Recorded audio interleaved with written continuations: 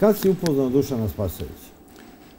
Dušana Spasovića sam upoznao 1992.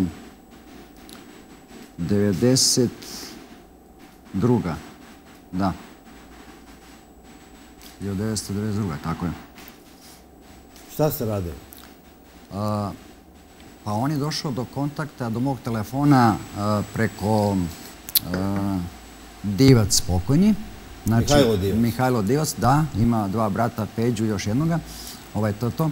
I ovaj, znači, on je dao broj moj, bez pitanja da da, dao je njemu. I ovaj, on me pozvao i rekao da se nađemo, ja sam se javio normalno, ko je, šta je, a da se nađemo nešto pričamo. Ja rekao, hajde vidim ko je taj čovjek. I onda vidimo, poznajem ga tada, došao on sam. I, ovaj, i stavio mi je 100 grama u Sava centru 100 grama belog i 100 grama žuto na 100, da radim za njega. Međutim, ja sam rekao da neću da radim za njega. Došao u crnom mantilu dole, do, do dugačkom mantilu, crnome, ja sam u novom bio trajaci, obično normalno, kao 90. još se nosilo trajake, znate i sami, ono, kao u onom filmu, one rane i to, tako, slično nešto, mada meni taj film smeša, a ne bi to to. Ovaj, došao je i uh, izvadio mi 100 belo, 100 žuto. Ja kažem, ne, ja hoću kilogram jer sam imao novac kod sebe, ako hoću kilo. I on kaže, ali nemam kod sebe. I kaže, moramo da odemo, kaže, kod mene u štek. I taj štek je njegov bio na Julinom brdu. Znači, stan drugi sprat. Znači, i on donosi kesu od 4 do 5 kilograma. Znači, dupla kesa bela. Nosi vezano i unutra je kašika. I ja sedim na zadnjem sedištu. On sedi do su, su mesto, a vozač mu njegov neki gorila. Ne znam mu čak ni ime, ne interesuje Samo bio visok, ćelavi, to je to. I, ovaj, i kaže, evo ti kesa, odvodi koliko hoćeš. I ja mu kažem, lepo, ovaj, ajde, odvodit ću, nije problem. Rekao, neću to belo, uzet ću žuto, sve. I ja tovarim kesu, kesu do kilograma od klike, ali prešlo je kilogram i 200. I onda, ovaj, odnesem, stavimo moju Toyotu, odnesem kući, on me dovezu do Zelenog i tu me ostave. Kažem, nemojte dalje, pošto ja nisu oni znali za moju Toyota gde sam ja parkirao. Tako je. Na zalovencu, da oni ne vide, ja pratim i gledam. Znači, oni odlaze. I ja s tom kesom od kilo i nešto može i polica me uhvati neko i ja sam gotovo pao i šta, kanal. I ništa, ja sam riziko. Uzeo sam kilo i nešto to, žuto, heroin i ovaj, donesem u Zemun. E, ko u Zemunu, u, u mojoj zgradi, imam dva stana. Znači, tu gdje mi majka živjela i kupim ulazu još jedan stan. Znači, za sebe da budem sa ženom posebno i sa sinom. E, i ovaj, donesem tu robu, znači, u stan i ostavim, ne da vidi ni majka, ni žena, niko, niko, niko. Znači, ja stavim u moj štek, nek stoji. Nek stoji i neću da prodam ništa. I prođe nekoliko dana i zove me, znači, Dušan Spasović, kaže, Pope, ovaj, kaže, koliko je otišao? Ja kažem, pa ne znam. Rekao, vidjet ću. Nemam pojma. Znači, ja ga vozim, neću da mu kažem ništa. U stvari, ja nisam ništa ni prodao. Držim to, znači, ko mene u šteku. I čekam, čekam da vidim do živaca. Njemu ništa nisi platio, on je rekao, ništa, kad prodaš, plati. Da, da, da, da, tako mi je rekao. Kaže, kao, evo ti, kaže, to i kad budeš prodao, platit ćeš mi, jer je siguran da ću mu platiti. Čuje za mene da sam pošten, da sam okej. E, i ovaj, to mi je on ispričao tu priču, tako. I zato mi dao to to se kaže na ler ili neko kaže lasciš i šta ti znam, na dug i tako nekako. E, ja to donesem i držim, ne prodam ništa. Ništa ne prodam. I ovaj, nakon nekih 7-8 dana on me pozove, prvo dušica neka njegova, ne znam šta mu je, ona se predstavlja kao žena, međutim nije mu bila žena neka sponzoruša, nebitno. Ovaj, dušica me ta zove i kaže, evo hoće, kaže, Dušan s tobom da priča. Šiptar, rekao, ajde, šta hoćeš? Tako baš kažem. Ti ga zvao neko Šiptar tad? Ja sam ga isto zvao, da. A što, komu je dao ime Šiptar? Pa ne znam komu nadevno nadimak taj Šiptar. On je iz Kuršumlije, iz Medveđe. Da, ali tako ga zovu Šiptar. E, znači, Spasović, e, znači, zove me Dušan nakon nekih 7-8 dana, kaže, Popaj, ovaj, tako mi nadimak po prezivnu Popaj, kaže, koliko si rastor? Rekao, rekao, nemam pojma, vidjet ću, ne, sad ću pogledam. I ja ga sad vozim, vozim, vozim, vozim. Njemu već s tom živaca dolazi na ivicu. I pustim ga još dan, dva. I on opet navaljuje, zove, još neko puta. Ja vidim njegov put neću sjajim. Opet drugi put neću sjajim. I, ovaj, I on me zove, onda ja se treći put javim. Tada. To je bilo već treći, četiri dan. I kažem, reci, šta je problem, u čemu je problem? Kaže, što mi se ne jaš onako drsko, već on kreće sa mnom, ono, u duel. Ovaj, kako, što mi se ne kao što bi ti se javio na jedan, otkud ti znaš šta ja radim u tom momenta. I ovaj, kaže, ja kada zovem da mi se javiš odmah, počinje sa mnom drsko ponašanje. I ja to osjetim i vidim. I ovaj, preko telefona, osjećam, tačno. I ovaj, i kaže, e, koliko si prodao, rekao, slušaj, ajde da se nađemo mi u Sava centru, tu da se mi nudi oni sto belo i sto žuto da se nađemo. Ti i ja sami da se nađemo i da popričamo lepo, u četiri oka. I ja dolazim pre njega, sa Toyotom parkiram sa severne strane Toyotu, ali preko puta, ne blizu Sava centra, sa severne strane. Parkiram Toyotu i nosim robu su sa sobom, to što sam uzeo. Ni jednog mili miligrama nisam prodao sve, celu kesu posim sa sobom, duplu istu kesu, kao i oni su mi donili, tih 4,5 kile do 5, donili da ja vadim koliko hoću. Rekao sam koliko sam uzeo, kilo i 200 grama. Tako da, ovaj, ja mu donosim u Sava centar to. A on krenuo već kad to počeo nešto drsko, koje kaže, duguješ mi, kaže, hiljadu preko ovoga što sam ti dao, još mi duguješ hiljadu maraka od ozgo. Bilo je tad u markama vreme. I ovaj, rekao, ok, nije problem, ajde se nađemo u Sava centru. A ja sam bio besan, zato što mi je, znači ušao u stan, kada sam ja bio u Subotici, bilo je pola tri, tri, tako nešto noć, sad će ono da sviće skoro, znači došao u moj stan, moj sin Bojan je imao dve i pol godine, on je uperio magnuma sa prešuvačem, 357, u krevetac, žena mi spava tu, moja Sanja, Popović, bivša žena, razveo sam se sretno. I on uperi pištolj, bila mi je majka u stanu, bila mi je supruga i bio je moj sin Bojan. On je uperio, došao je sa Lukovićem, nije dvojica zajedno. I s pištoljima, moja majka se istraumirala. On je uperio pištolj u krevetac i rekao moje sanji, ženi, supruzi. Rekao je, kaže, hoćeš sad, gde je Popović, gde je Pop, reci, reci, ona ne zna. Stvarno ne zna, ni majka, nikad ne kažem gde idem i šta radim, nikom. Znači, bio sam u subotici da kupim nešto, znači za kuću, za domaćinstvo. To je jeftino bilo tada praškovi, što ti znam nešto ono, u to vreme. Išao se za Suboticu, na pijaci, najjeftinije. I on je htio da puca u sinu. On je, da, repertirao, rekla mi žena, repertirao je, znači normalno. Znači žena se tresa kad se ja došao u pola pet, vraćam se Subotice, u pola pet, ja vidim šta je, ona plače, ovako se skupila na trosedu, plače, ne spava. Rekao, šta se desilo? A sin mi spava. Znači ništa, nije čuo ništa. Jesu oni galamili, ali moj Bojan je bio miran, spava, nije čuo ništa. Duda mu je ustima, ništa ne čuje. I on je pretio majci, pretio moje ženi. Znači, i kaže, recite de, majka isto plače, vrišti, šta će kuća, ono, tri sata noć, komšije već, ima sedam stanova u mom ulazu, svi su se ono, šta se dešava. I ovaj, i oni galame na vrata kad su to ulazili unutra i hoćeš sad detetu mozak da, da mu prosvema, reci de je pop, reci de je pop. Mislim, to je strašno šta je uradio. E, to je mene iritiralo da ja pozovem, da mu kažem, e sad dođi u Sava centar da popričamo lepo, da vidimo, da ti ovaj, dam neki novac, što mi rekao da mu dam hiljadu maraka tada, kao to ide na tih sto, kao nešto kamata njegova ta. E, i onda ja dolazim sa kilo i dvesta u Sava centar sam, sam, imao sam tetejca kod sebe, a on je nosio heklera. Došao je on, ali ja ne znam s kim. Ne znam. Ja sam došao pre njega, možda nekih 5-10 minuta pre njega i sedim naučio sam sok od breske. Šanker mi je donao sok od breske, sedim na šankom, sam nikad žive duše nema oko. Sam sam bio i čekam. I on ulazi sa južne strane. Ja ga vidim. Znači, kroz staklo ovako vidim oce, vidi se tačno. Da on dolazi, crni mantil vidim, to je on. Ali vidim, čudno mi sam. Nikad on sam ne ide. Znam. Rekao, kako to da nema nikoga, dolazi sam, nije mi jasno. Ali poslije ću vam objasniti zašto.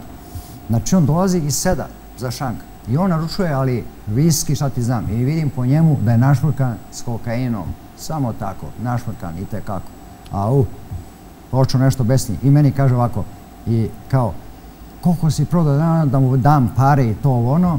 Ja kažem, slušaj, pusti ti to sad koliko sam ja prodao i šta sam prodao. Nije bitno. Rekao, reci ti meni, što si ti noćas bio kod mene u stanu u pola tri, tri? Rekao, ja nisam bio u kući. Ni žena, ni moja majka nisu znali gde sam. Ja sam bio, rekao, u Subotici svojim poslom, privatno. Rekao, zašto je ti to uradio? Jer to nije kodeks. Znači, ako si kriminalac, to tako se ne radi. Da ti dete uperiš pištolj, da to kažeš, da izgovoriš to. Ne. I on me gleda, ne može da veruje. I kaže meni, Hope, kaže, ti si držao prema meni. Koji ti si bio držao telefonom prema meni kad si zvao. Bio si drzak. Rekao, zato što si našvrkan sa kokainom. misliš da si jak? Rekao, nisi jak. Tad kad je počeo, njegovi početci. Kaže, nisi ti jak? Kaže, misliš? Rekao, da, mislim, siguran sam. Kaže, 100%, rekao, 100%, 1000% mislim, nisam bojao njega uopšte, nikad. Evo ima još neki živik, pa nek potvrde slobodno. Znači on, ja mu stanjam, on nije mogao da veruje. Ja sam bio u jakni tada i u trenci i u jakni, gdje on nije mogao da vidi kesu. Jezdim, tačno je bilo ono što sam uzeo, kilo i 200 grama. Ja mu stanjam šank i od ozgo mu stanjam 500 maraka, bacam ovako pare. Ustajem, so sam popio do pola, od breske. Pola, do pola sam popio, ustajem. I meni kaže, de, de ćeš kao? Kažem, slušaj, rekao, ja odlazim. Rekao, ja s tobom neću da imam posla. Ti nisi dobar čovjek. Procenio sam ga, nisi dobar čovjek. I on kaže, da, Popej, kaže, u ovaj krug ko je ušao, niko živ nije izašao. Rekao, eto, bit ću ja prvi. Ja ću izaći iz ovog kruga tvog, tog tvog začaranog kruga. Ja ću izaći. On kaže, e, neće moći. Ja kažem, vidjet ćeš da će moći. I sad ne znam, ja ustajem, okrećem leđa njemu. Znači, ne bojim se, okrećem, ali ruka desna mi ode. Znači, zavukao sam do krenku, razvukao do pola, ovako, evo da vam demonstriram, vidite, držim za teteca, već sam ga repertirao i metak je u cevi. I čekam, jer možda mi je sačekuša napolju, ne znam. Znači, neizvestnosti u meni. Nije bilo sve jedno. Nije mi bilo sve jedno. Ipak mi je srce drtalo, ali nisam teo da mu pokažem to emociju da on osjeti. Ne, nisam teo da mu pokažem. Da bi ovaj, Eh, on gleda i ja sam mislio da će ustati da krene za mnom. Međutim, gledam na staklu isto kao što sam vidio da dolazi, tako gledam, on sedi dalje sa šankom i vidi kesa stoji sve što sam uzeo, to mu vraćam. Još mu bacam 500 maraka od ozgo, on ne može da veruje. Znači imam novac, meni nije potrebno i da prodajem ne radim. Samo sam ga probao da vidim gde mu je štek, da vidim koliko ima količine, čega šta. Ne to 100, 200, to me ne interesuje. Hoću veću, veću, veću količinu, kao policija što radi, normalno. E, na taj način sam njegov izvukao i njegov štek, znam da je bio. Sve, sve sam rekao Julilo Brdo, stan, znači broj pet, drugi sprat. To je to. E, i ovaj, ništa. Ja izlazim na severnu stranu, on je ušao na južnu, ja izlazim na severnu. Jer tu ima red taksista i onda razmišljam dok idem ovako, gledam da li će on ustane krene za mnom ili da će Luković biti napolj neko od ovih njegovih da me čekaju pa da me tu izruvaju, jer ima mesto, nije bilo kamera tada, kao sada i da me on tu možda zvekne što kažu ili rokne, nemam pojma. Ima izražaja više vrsta. Tako da, ovaj, e, on gleda za mnom i ne može da veruje. I ja mu kažem, ja ću biti taj koji će prvi izaći, veruj mi. Nije verovao. Ja sam rekao, on kaže 100%, ja kažem 1000%. I tako je. Ja izem na svemu stranu, držim pištolj ovako i čekam napolju. I očekujem, znači da se branim. Nema veze. Ako poginem, poginem, nije bitno. Ja izlazim, međutim, očekujem, pogledam levo, desno, ovako, nema nikoga. Ne mogu da verujem. Rekao, možda iz stuba ovoga ili ovoga. Znači, ono, trip mi ulazi već da mogu, postoji mogućnost da me čekao, ako idem u stepenic, ima par stepenika do taksija. Neću u svoj auto, u toj auto, ne. Normalno, odem u taksi sad taksisti vozim ga, tamo vamo. Mislio sam da će me možda pratiti neko od njih kolima. Međutim, ja sam išao bok 70 tamo vamo u taksiju, nije bilo jasno. Čas tamo, čas vamo. Ja ga vozim taksistu, nam nije bitno koliko ću ja platim samo da ja budem siguran da ne je niko za mnom. Ja se vraćam ovamo, Sava centar, i tačno u to vreme kad sam ja došao, vraćao se taksijem. On je znači još popio ko zna koliko viskija tu, da bi došao k sebi, verovatno i kokain i to kad se meša, to je ludilo. To je ludilo. I onda on, ovaj, znači nije se mako. On je isto krenuo južna strana, tu je verovatno on parkirao auto, sam je znači došao. Sam, da. Došao je sam, tad sam tek provalio i ja ga vidim, on mene nije vidio. Ja sam se vratio taksijem i stajem zadnji red taksija, svi ima ih jedno desetak ispred stoje. Ja stajem zadnji red gdje sam, znači bio sam prvi, sad stajem zadnji. Pošto tu vraćam, tu sam i uzao taksi. Sve sam obišao i on izlazi tog momenta na južnu stranu. Ja ga vidim, a on mene ne vidi. Ja iz taksija još sam izašao, plaćam taksi. Vidim njega izlazi i sedam njegov džip. Tada je vozio neki crni Paero, ja mislim, u to vreme jeste Paero džip, da. Vozio džipa Paera i ovaj i odlazi sam Milomire, sam, ne mogu da verujem, ono, preko ja to vidite, Bog me sačuvao. Bog me sačuvao, ja sam rizikovao svoj život. Nisam teo ništa mu prodam, ali sam dokazao mu da nije moćan. E, kasnije kreće njegovo, to je početak, divljanje. Kasnije je dobio te legitimacije da ima kao da je DB služba, da je policija oduzima robu, ali policija ima i korumpirane koji tu robu koju pokupe dilerima u stanici, vraćaju opet na ulicu, znate. Ima ih, i kako ih ima. Da li on tebe jurio, ipak je on ponižen? Nije me jurio, ali je bilo zvanje telefonom. Bilo je zvanje telefonom. Neka dušica njegova ta kao, znam da je sponzoruša, nije mu žena, to znam. Zovne nekad ona, evo hoće, kaže, Dule, priča s tom, ali fino sad onako. I Dušan kao, kreće, Pope, kaže, dete bude video, ima da te zvekrem u čelo, overit ću te, ovo ću ti, ono ću ti. Rekao, slušaj mi, možda pretiš, možda radiš što hoćeš, rekao. To što si ti meni detetu, to, teo da uradiš, to sam ti ja samo vratio na moj način, kako ja znam. A znam vrlo dobro, da sam hteo, u ono vreme mogao sam ja da ga, znači, likvidiram, da nema tragova, nema ničega. A da policija i ne zna ko je šta je. Da iskesali jednostavno, ispali ostaje čaura iz magnuma i zdravo. I da se ne zna ništa. Kao trlaja što radi isto. Isto. E, kad sam kod trlaje već, vidi, mnogi sad upotrebaju rečenicu mala bara puna krokodila. To je jedini, prvi jedini. Kad je Bata Posle toga je to? Svi. On je rekao još 80 i 87, 86, 87. E, 86. sam Arkana upoznao, da, da, pokojna je Arkana, 86. tako je. I to u Padijskoj skeli. Tako je. Da. Šta je Arkan radio u Padijskoj skeli? Pa on je bio optužen da je tuko posle kocke nekog on je, da, u iftu. boksere, da, jeste, a on je ubio Bobana, onog boksera iz Nekata. Znači, nije namjerno. Nije namjerno. Znači, oni su išli na aferu. Tuča. Boban se zvao taj koji je, uh, znači, mrtav, ubijen. Oni su išli da se pokažu, ono, jedan na jedan, što se kaže. Znači, bez oružja, bez ičega. Bez bodeža, bez ičega. I bio je Boban jak ima ga, a bio je Arkan jak. Ali Arkan se nikad nije tukao, on je rekao da je to glupo, bolje jedan metak rešava sve. Jeste, ali e, vidite, e, Boban, Boban i Arkan jesu drugovi, ono, jesu drugovi, ali uvijek su se ono čarkali ko će biti, ko je jači. To je ono, dokazivanje, znate, u to vreme. Jer to je bila aferka, što kažu stari ovaj kodeks. Znači, to je Arkan išao da pošte i to, ispoštove i to. Ja znam, Znači oni su na ulici se potukli. Gdje se tukli? Ja, Mariću, ne slagaću se ako kažem tačno gdje se to desilo. Znam samo da je Ivana, Ivanka, moja sestra, koja ga je, ono, što se kaže, ušao je u restoran, overila ga u glavu dva metka i spala s leđa, a to je policija završila posao i dali, a policija njoj pišto da ga ubije. A on je u tom restoranu, ne znam kako se zove tačno, naručio pesmu od Muharma Sazovskog, zašto su ti kose pobele druže? On je tada pustio suzu zbog njega, zbog Vovana, jer ga je nezgod udario, on je glavom udario u ivičnjak, od ivičnjak totoara. I on je preminuo nakon do bolnice, on je preminuo. A ko je Ivana koja ga je overila? Ivana je sestra Lubobana. Sestra Lubobana. Policija je sklonila Ivanu u neku zemlju sad ne znam tačno koju, da li je Argentina, da li je ne znam, nisam siguran, ali u neku zemlju tamo daleku. Šta ti Arkan rekao oko tog ubistva, oko tuče?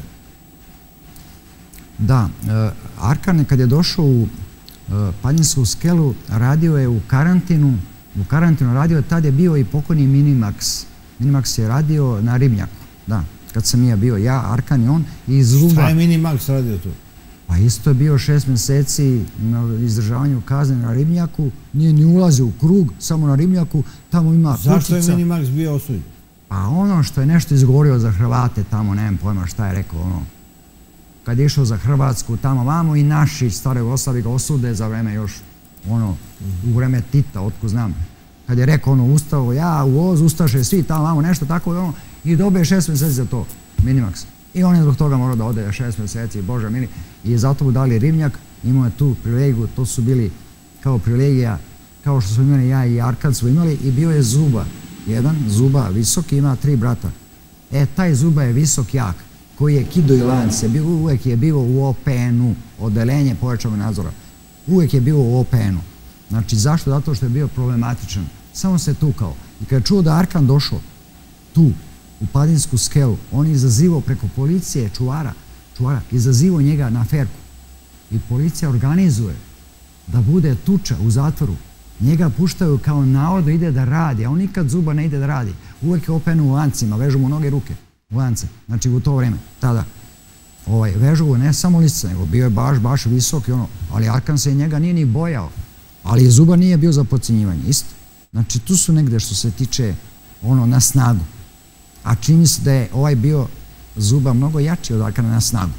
To je što se tiče snage. Arkan je mnogo, što se kaže, radi sa mozgom, normalno, da. Tako i treba, mislim. Je bilo te tuče u zatvoru? E, nije došlo do tuče, sprečili smo. Znači, za, za dlaku. Eto, verujte, za dlaku su sprečili to tučku, jer mi smo igrali futbol, znači ja sam uvijek igrao ekipa, pošto navijam za Partizan, a Arkan je bio zvezdar. I onda idemo, kao, ajmo Partizan zvezdar. I nas, recimo, 7-8, golovi ovamo i kao, ajde igramo futbol, ajde. Slučajno, izvinjavamo mi se, ja stanem na loptu da je štopao, međutim nisam je štopao kako treba, profesionalno. Ja stao na nju, a Arkan je od ozgo šutne i onda da mi kao oduzme loptu da bi on dao go. I tu me, ono, ono, prevari, zezne me i ja nogu pap i ti znao tad ko je Arkan da radi za državnu bezbednost, da ubija ljude? Znao sam da mu otac baš ono, vojni, ono, vojno lice, da je baš čin visok, sve sam to znao. Ovaj, ja imam ovdje tigra iz tetoviranog, Arka nije ni znao da imam tigra i kad sam imam bio na kupanom gleda vidi tigra, kaže, otkud ti imaš popet tigra?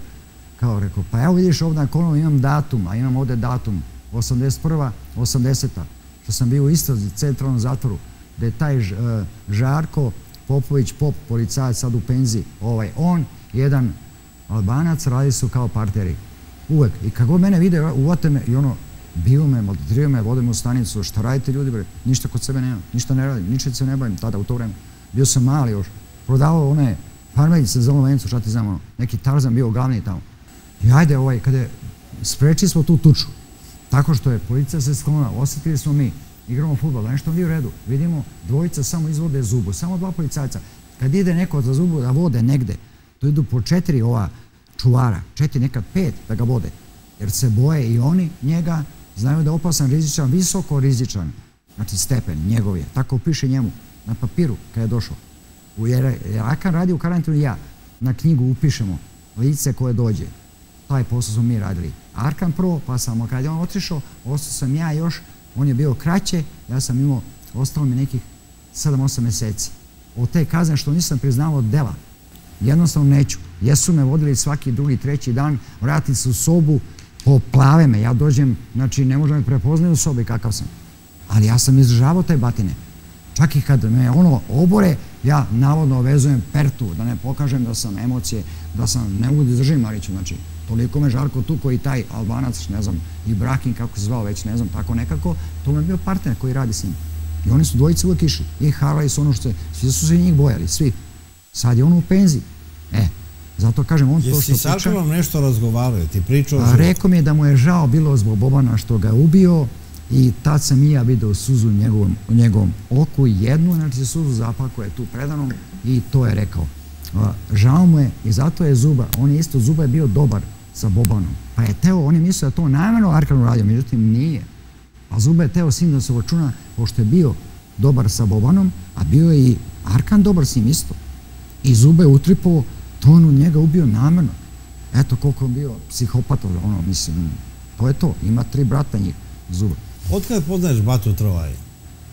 A u Batu znam, boga mi, mm, dugo, dugo, ovako sad ću reći tačno, da bude baš precizno, 83. mi se rodila čerka, znači 83. godina, 84. tako je. 84. godine. Da, od tada. Od tada poznajem Batu, poznajem majku njegovu, nosili smo i ja i on pancire.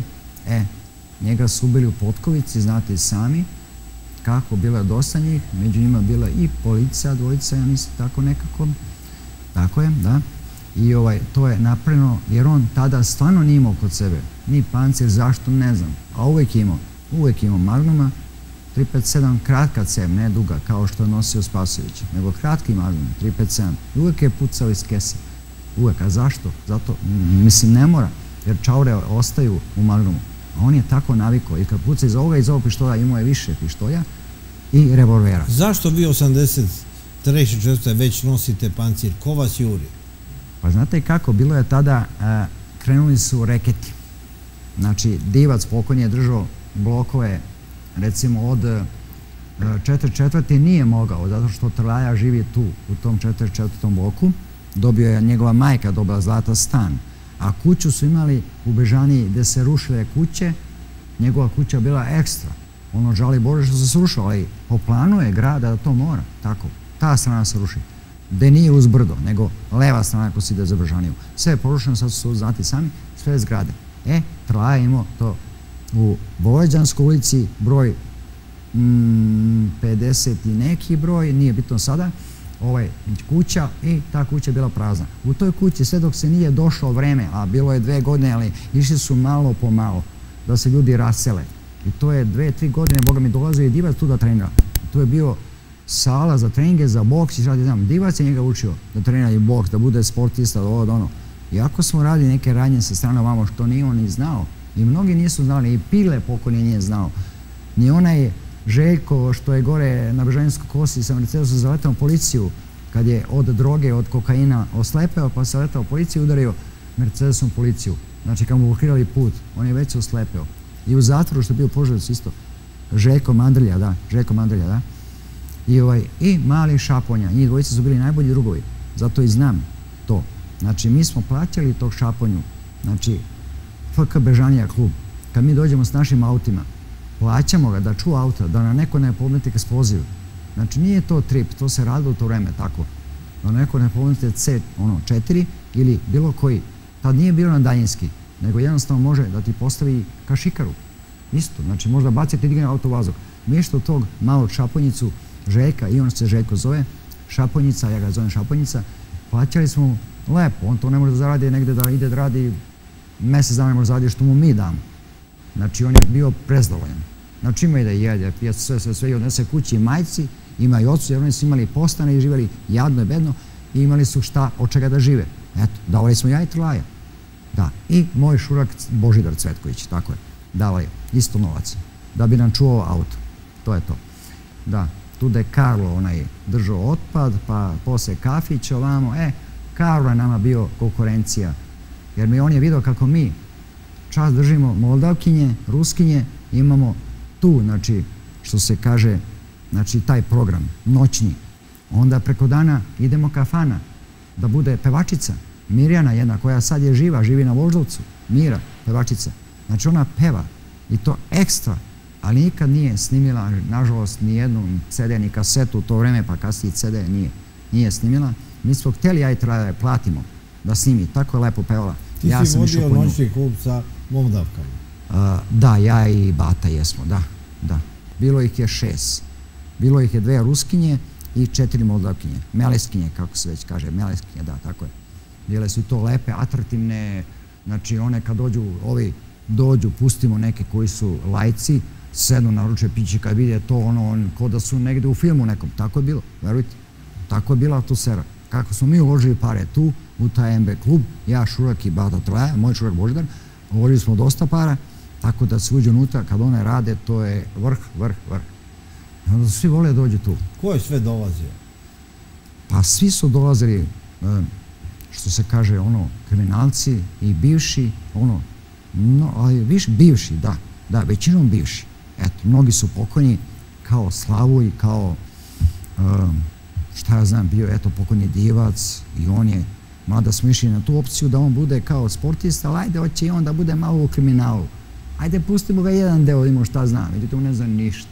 On samo gleda bahato, namršti se i kao hoće nešto.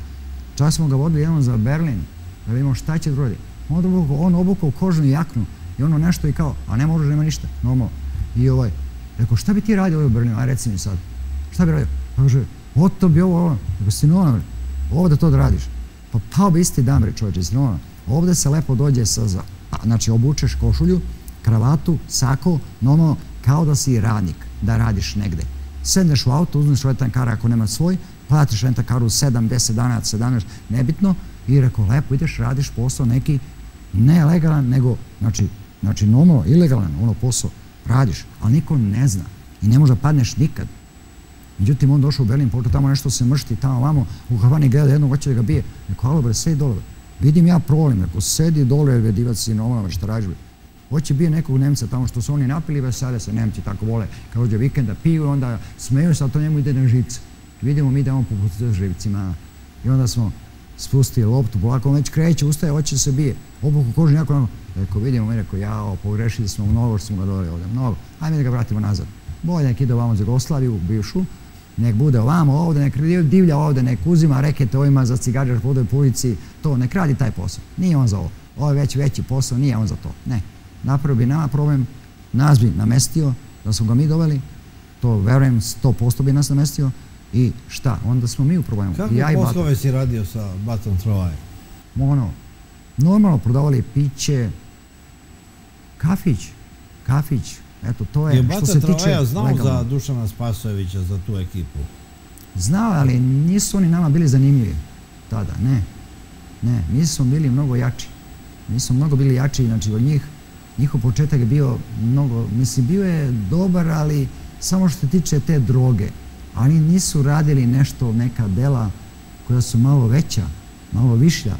To ne, to nisu radili. Znači, za nas su bile ono što kažu sitne ribe, za početak. I on i Luković. I Dušan Luković su bili sitne ribe i još ovi, što ja kažem, dijavoli, indijanci, što su za njih rade za novac, za sitne pare neke. Samo da bude masa, da ih ima. Što više, to ja zovem čopor. Tako sam ih zvao. To je čopor za nas. Kad ti počinješ da odlaziš u inostranstvo? E, otišao sam, ranije sam išao na lažni pasoš. Eto da vam kažem, išao sam na lažni. Radio mi jedan čovjek s Karabume, neću ime da mu spomenem, nije bitno. Uradio me tako lepo, profesionalno, da nema šanse da se provali. Znači, polazio sam sve četiri granice. Znači, niko ne može da izvali da je to divljak pasoš. Nema šanse. Ovdje je rađen. Ovdje. Znači, Karabuma u pitanju, čovjek iz Karabuma, nije bitno koji je. I, ovaj, pošto još živ, ne želim ima da mu spomenem, ovaj, tako da on mi je radio pasoš, vrhunski je falsifikat, radi ekstra. Tako da on mi je uradio i ja sam bio sretni za ovaj, što sam sve polazio granice, a uvijek sam bio u strahu da će me možda neko negdje vidi, ono, ja idem kolima, sve je ok, ili nekad autobusom, za Mihen, pa presedam, pa vidim tako, nekad ovako, nekad avionom, kako kad. Samo je bitno meni da dođem do Belgije. E, a odatle poslije kao da sam u Srbiji. Belgija ti je bila centrala. Tako je. E, tako. Ja Belgiju znam kao što znam sad Srbiju. Nikad nisam htio da budem u čoporu, da radim s nekim zajedno u ekipi nekoj 80. godine. Godinu dana sam bio istrazi zbog toga što sam radio sa četvoricom iz doma. Uradio sedam krivičnih dela, zamislite, sedam. I on je dobio svi po četiri, pet godina. I ja neću. Trpim batinači svaki od popa i od ovoga. Dobijem batinači svaki treći, četiri dan. I ja rekao, dohle više bre. Ja sam trpeo batine godinu dana. Šta si radio po Belgiji? Provaljivo si u vile, bogataša? Da, samo vile, ne u gradu. U gradu je sirotinja, znate sami. Grad je radnička klasa. Tu nema keša, nema ništa. Znači ja sam radio samo Mercem, Breda, tako ono, kao kod nas dedinje da su vile i to, to, to. Znači ja pratim po dva, tri dana jednu vilu, gledam samo da ima deca unutra, gledam koja vrsta alarma je ugrađena, kod njih je tada bilo, kod nas ne još, ali kod njih je bilo i to sam samo pratio i gledao sam. I znao sam načine alarme, koje je isključen kako. Samo u jednoj vili sam se prešao da je bio jedan sportista, gdje kad sam ušao unutra, popalio su mi se sa svetlo. Jer taj kvart, oni plaćaju policiju privatno, plaćaju da ih čuvaju. Oni kruže, ali mene vozi žena belgijanka i ona kruži isto. I to su belgijske tablice, njoj ne mogu ništa. Ona tamo radi u osiguravajućem zavodu za život osiguranje i za stambeno osiguranje. Ima sa sobom potrebe sve. Znači ja sam sebe osiguro. I ona njoj kažem, ajde reći ću ime, Laura. Znači ona je me vozila sa njenim autom. Znači dvosed imala sportski, super za mene, ekstra. I ovaj, za rad. Znači modern auto u to vreme. I ovaj, i ona isto imala vilu, lepo živjela, znači ekstra. Tako ovo nije mogu da verujem. Kad sam vidio kakva vila kad me Laura dovola Ona tebe u pljačku vozi, bogatašica. Da, da. Ona se jednostavno, ja sam nju za jednom lokalu noćom, vidim se sedi sam, ono, ja priđem i lepo, ono, normalno, zamoli me. Nisam znao da pričam baš ono, ono, engleski, čisto, tamo se priča nemački, engleski, i ono staroflamanski, šta ti znam, ono, ovaj stariji malo, ovaj, ja sam se snalazio nekako, ono, što se kaže nogama i rukama, da bi se ono nekako samo njoj dodvorio, da s njoj priđem, bila je lepa ko san, ono, mislim, lepa još uvek je, iako ima godina, tu negde malo je mlađa od mene za godinu, dve, ali ovaj, lepa, atraktivna, baš ono, za tamo je meni bila vrh, top, što kažu klinci. Ovaj, ja polako, polako, jedno večer, drugo večer, ja nju dobijem, odmah, ono, treće već, vidim, ona pristaje, što kaže, na sve, i piće, i ovo i ono, sve lepo sedimo, pričamo normalno, nekako i ona mene sad uči jezik, uči ovo ono, ona je bila u jedno vreme i učila me i engleski, a i, i vozac za moje radove. Kasnije tek ono, kada je pošao neki mjesec dana, onda se rekao... Je zna ona da si ti lopao? Ona je, nije znala za početak. Ona mislila da sam ja iz Italije. Ja kažem njoj lepo, ja nisam iz Italije. Ja sam rekao iz Srbije. Ona kaže, kad kažem za Tita, e onda zna. A kad kažem Srbija nema pojma, ona misli Sirija tamo, otko znam šta šta nije znala, ona žena jednostavno nije bila upućena da je to Srbija. Ovaj, I onda kažem Tito, onda ja zna, onda zna sve. Da, kad kažem da sam odatle, rekao ja nisam izdati italijano, no, ne italijano, ne, ne. I ovaj, onda ona to skapirala i shvatila i vidim ja da ona stvarno nešto gaji, neke emocije prema meni, što se tiče toga, vidim da mogu da imam. Vidim ona hoće. I ona kao, ajmo kod mene, kaže kod mene kući, tako je reka, kući, neka u vilu, kući. Rekao, pa jesi sama, kaže, nisam tu mi muž i sin. Pa kako da idem, bre, sinoma? I ovaj kaže, ma to, to je normalno kod nas, ajde, ideš sa mnom. On ima švalerku, što ne bi ja imala kao neku? Ja odem kod nje kad sam vidio Marić, ono, tamo, ono, na filmu da gledate, ono, ja sam se iznenadio, došao, ja sam like došao odavde iz Jugoslavije, to je katastrofa, kad sam unutra, ja sam oduševio, kod nas, oduševio sam se. To je tako lepo sređeno, tako lepo uređeno, Lavo rekao, svaka njoj čast, punimo se tako lepo posluženje, kao nekom filmu, ja sam doživao to tako, eto, verujte. Ovaj, I nakon mjesec dana, ja joj lepo kažem, iskreno kako jeste, Laura, ja sam došao ovde da radim, znači, vale, da radim to, znači, isključivo samo vile, ne stanove, samo vile me interesuju, jer znam da u vilama žive sportisti, glumci u tom delu. Znači, tu ima keša, ima zlata, svega i svačega a nisam bio pantersi kao ovi neki što su panterima i šta te. Uvijek sam bio, rekao sam, solo i solo. Samo me ona vozila, a nije znala. Znala je da radim. Nije čak ni znala koliko šta uzmem, ništa. Samo me vozi i kruži, a uvijek je bila iz početka u strahu. E, kasnije se opustila... I se ti njoj hvalio koliko si u kojoj vile uzeo? A, nisam se hvalio, nego je nekad častim, recimo bisere dam, nekad, nekad narukicu neku, nekad prsten, zavisi, a mi ovde smo gledali, ovde, znači u, našoj Srbiji sada, ovaj, e, znači, da svoje žene okitimo u zlato, što više, jer onda se vidi po tome toliko je muž sposoban. I njoj nakon toga kažem i ona krene prvi put sa mnom u tušljaku i ona kad je vidjela, kad sam objasnio kako da radi, na koji način, kad sam to ispratio, išao sam, ona mi, znači meni treba samo belgijanka, ne bi to hvajanka, da mi garantuje za auto, ne mogu ja da uzem auto od renta kara. Ja sam sa pasušem i ovo ne mogu, nema šanse. Samo mora da bude belgijanka, možda bude, ali da ja regularno, normalno sve, sve, sve, vozačku, vozu, sve. Ja nisam ni vozačku, ništa u to vreme. Ništa, ništa, ništa. Samo sam imao lažni pasuš. Ništa više. Dok nisam kasnije dobio svoj. Lično dobio. E, ovaj, i prva šljaka, vidim, u njoj strah, kad treba se beži, naišla je policija ova koja čuva onda se malo to pobože, kažem, ne da ubrzavaš, vozi istom brzinom, nemoj da smanjuješ, ne pojačaš brzinom, isto brzinom vozi. Ništa, ništa, ništa, polako opušteno, samo kažem opušteno. Iako sam kod sebe imao i novaca, i zlata, bisera svega.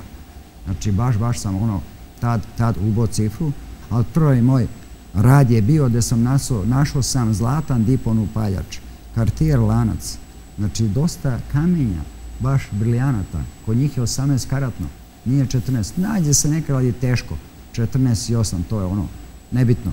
Meni je bitno da 18 i 24 karata. To je bitno. I kamenje je bitno, najbitnije kamenje. Znači, samo mi je to bilo bitno. Pa zlato, znači u Antwerpenu zlato i kamenje smo vadili.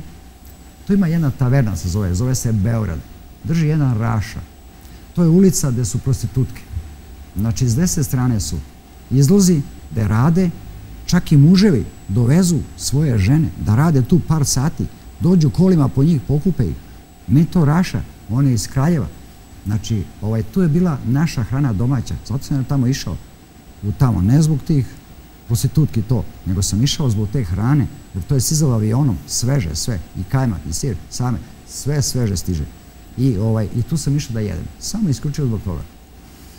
I, ovaj, I ništa, meni Raša tu lepo objasni, ali Raša ujedno imao kancelariju, imao je kiseline, sve za ispitivanje, kao u Zlatari. Da li je lažno, da li je ovo, da li je ono. I samo meni to ispita i ja njemu povadim ja kamenje. I on mi pomogne. Kamenje sam imao jevreja, gdje sam prodavao tamo, u Antwerpenu. Sve što si uzeo po vilama, ti si prodavao tim trgovcima dragulja. Da, da. Kamenje sam prodavao tamo jevrejima, zlato sam eh, davao Raši, što drži eh, tavernu Beograd, zvao se Beograd, on je nosio zlato za Nemačku. On je imao neki proces, meni to nije bilo bitno. Bitno kad skupim količinu pola kila do kilo, da to da je sve u komadu, odjednom. I on ja kažem, Rašo, nek stoji to kod tebe. Imam porenju njega. Jer znam da ne može mi pobogne nigdje. Ako nek stoji kod tebe, da ne bi ja nosio kod sebe gore u Meksen gdje stanujem, to mi je, znači, stan mnogo skupo sam plaćao, da bi bio obeđen. Nema naših Jugovića, se zvalo tada, nije, nego niko sam sam i niko ne zna ništa o meni. To mi je bilo bitno, ništa više. Jer to što radim mnogo je rizično i opasno. E. Ovaj, zato sam bio siguran u Belgiju. Svi su mi govorili, nemoj Belgije, kaže, opasno u policije. Ima trvrste policije. Znam, baš zato idem, što je opasno. Jer hoću rizično da radim, jer tu su pare. A ne Nemačka, Austrija, šta ti znam. Jer Austrija je ono, što se kaže, naš grad. Malte ne. Eto. Na, Beč, eto, da kažem Beč, samo Beč. To su Romi, ovi, oni naši Srbi, sve. To je, kaže, grad, to je naš grad. Beč. Ovaj. Opiši te najveće akcije po kućama što se radi. Znači, vidite ovako, ja sam radio na Lomelicu. Bravo. Znači, cilindar Bravo radim na Lomelicu. Znači, slomi Bravo sa spoljne strane, prvo vidim kakva su alarmi, šta, kako, gde, onda uradim, slomim Bravu, polako, slomim je i bitno mi da mi jezičak ostane ovako izgleda kao krug, crni, ima jezičak ovako, da mi ostane unutra. Sa sobom nosim samo profil omilicu i nosim jedan šafciger koji ovde tačno leže, ima kanači kao za šafciger, da se otključa. I taj jezičak stoji ovako. Kad zvučam ovu bravicu polako, što je od mesinga, onda e, stavim šafciger unutra u, znači tu, znači e, kukicu gde se otključava kao ključem. Otključate, cap, cap, šafcigerom. Otključam polako, a znam nikoga nema, jer tri dana, dva, tri dana pratim tu vilu, dok nema nikoga, ja tada od pet do nekih sedam sati ja mogu da radim. Jer njihovo radno vreme do pet, radi od devet do pet, onda idu da pazare nešto i tad je meni najbitije da uradim. Nekad uradim za jedno večer po dve vile odjednom, a nekad samo jedno. Zavisi, sve, sve zavisi. Ovaj, a potrebno mi je samo 10 minuta da unutra nađem znati to što mi treba. Tačno sam znao gde šta stoji. I otkučava se tako i onda nikad policija nije bilo jasno u Belgiji. Onda vadim i ovu bravu sa unutrašnje strane, ili ima šaf jedan koji stoji u bravi, izgledim i taj deo i ostaje samo rupa. Nema dokaza nikakvih. U rukavicama radim, otiske ne ostavljam. Njima nije bilo jasno belgijanskoj policiji kako to ja, ne ja, nego ko to radi. Ko to radi? Nije, to izlazi, ja gledam, znači u vestima, sve gledam. Znači, njima samo ostaje rupa i sad njima nije jasno. Nema brave, nema ništa, a odnešeno to, oni prijave sve što je odnešeno. Policija sad nešto i veruje, nešto ne veruje. Da li je toliko bilo? I lagali su čak da je bilo mnogo više. Dodavali Da, ja recimo nađem 100 grama zlata, oni kažu bilo je 200 ili 150. Bilo je, ne znam, 30.000 mm, ono, recimo guldena ili nebitno maraka ili koje valute nije bitno dolara, oni znači, stave dupo da je bilo više, a nije. Vidimo u vestima da nije toliko. Ja znam koliko sam izbrao. To je to. I ovaj, rekao, dobro, ne klažu, mi baš bilo bitno da ja sam sebe, znači, osigurao, trago njega nisam ostavio, ja sam tamo odradio, Boga mi, dosta, dosta vila na taj način. Kad uđem, samo jedna vila me iznenadila gdje su me svetlo pala, neke vile ima povezane direktno sa policijom. Znači, alarm, ne znate. I kad uđete unutra, ništa se dešava. A ja znam, kad uđem u prizemlje, ja otvorim prozor za bežanje. Prvo osiguram bežanje. I onda idem na trkenje da radim. Normalno. Radim i nađem. Spavaća soba, kuhinja, sve su kovertama pare. Oni spavaće soba ovam ostavljaju za odmore i za to novac štede, ostavljaju tu. Kuhinja za ishranu. Isto koverta stoji negde, u sudovima negde ovako, ali tu je negde, znam da je blizu. Tu mi je znači negde. Tačno namirišem gde su pare. i gde je zlato. Spavaća soba natkasnice, dve ovako i znam tačno bračni krevet veliki, tu je to, to je to, nešto kupatilu, ako se žuri gospodin ili gospodin, ostave na onome zlato ili na mašini, nije bitno gde, znam da imaju kupatilu. I tu sam nalazio kako dobro zlato u kupatilu, ja mislim nema ništa, prve, druga, treći moja vila nađe kupatilu više nego što našli u spavaćoj sobi. Da, ne stigu da stave sve sokite i onda ono, i ostave kupatilu i to su bilo 18 karatno, bilo je ono i 24 nešto, i za zube ono sam nalazio počice, one rane, tanke, 24 što se rade zubi, to sam nalazio dosta toga, u, baš dosta. Ovo, eto, to su načini na koje ja sam radio u Belgiji, to jest Antwerpenu. Jesi negdje uveteo da su domaćini bili u kući? E, jedno mi se desilo, bi jedna gospođa, da, da, da. Vidite, znači ja, e, to je bilo, znači ja gledam, vidim, odlazi jedan gospodin na posao normalno, gospođa vodi dete, ono ide, verovatno, vidim malo je obdanište tamo vamo i ona, verovatno, i ona ide na posao. Ja gledam, čekam, znači otišli su, nema vraćanja, znači nema nikoga, računam, brači par, zete, to su otišli. Međutim, ja isto na taj način, kao malo pre sam rekao, lomim, bravo, oranj, ja se penjem ovako da je prizeme, idem prvo gore, spavaća soba, da uradim.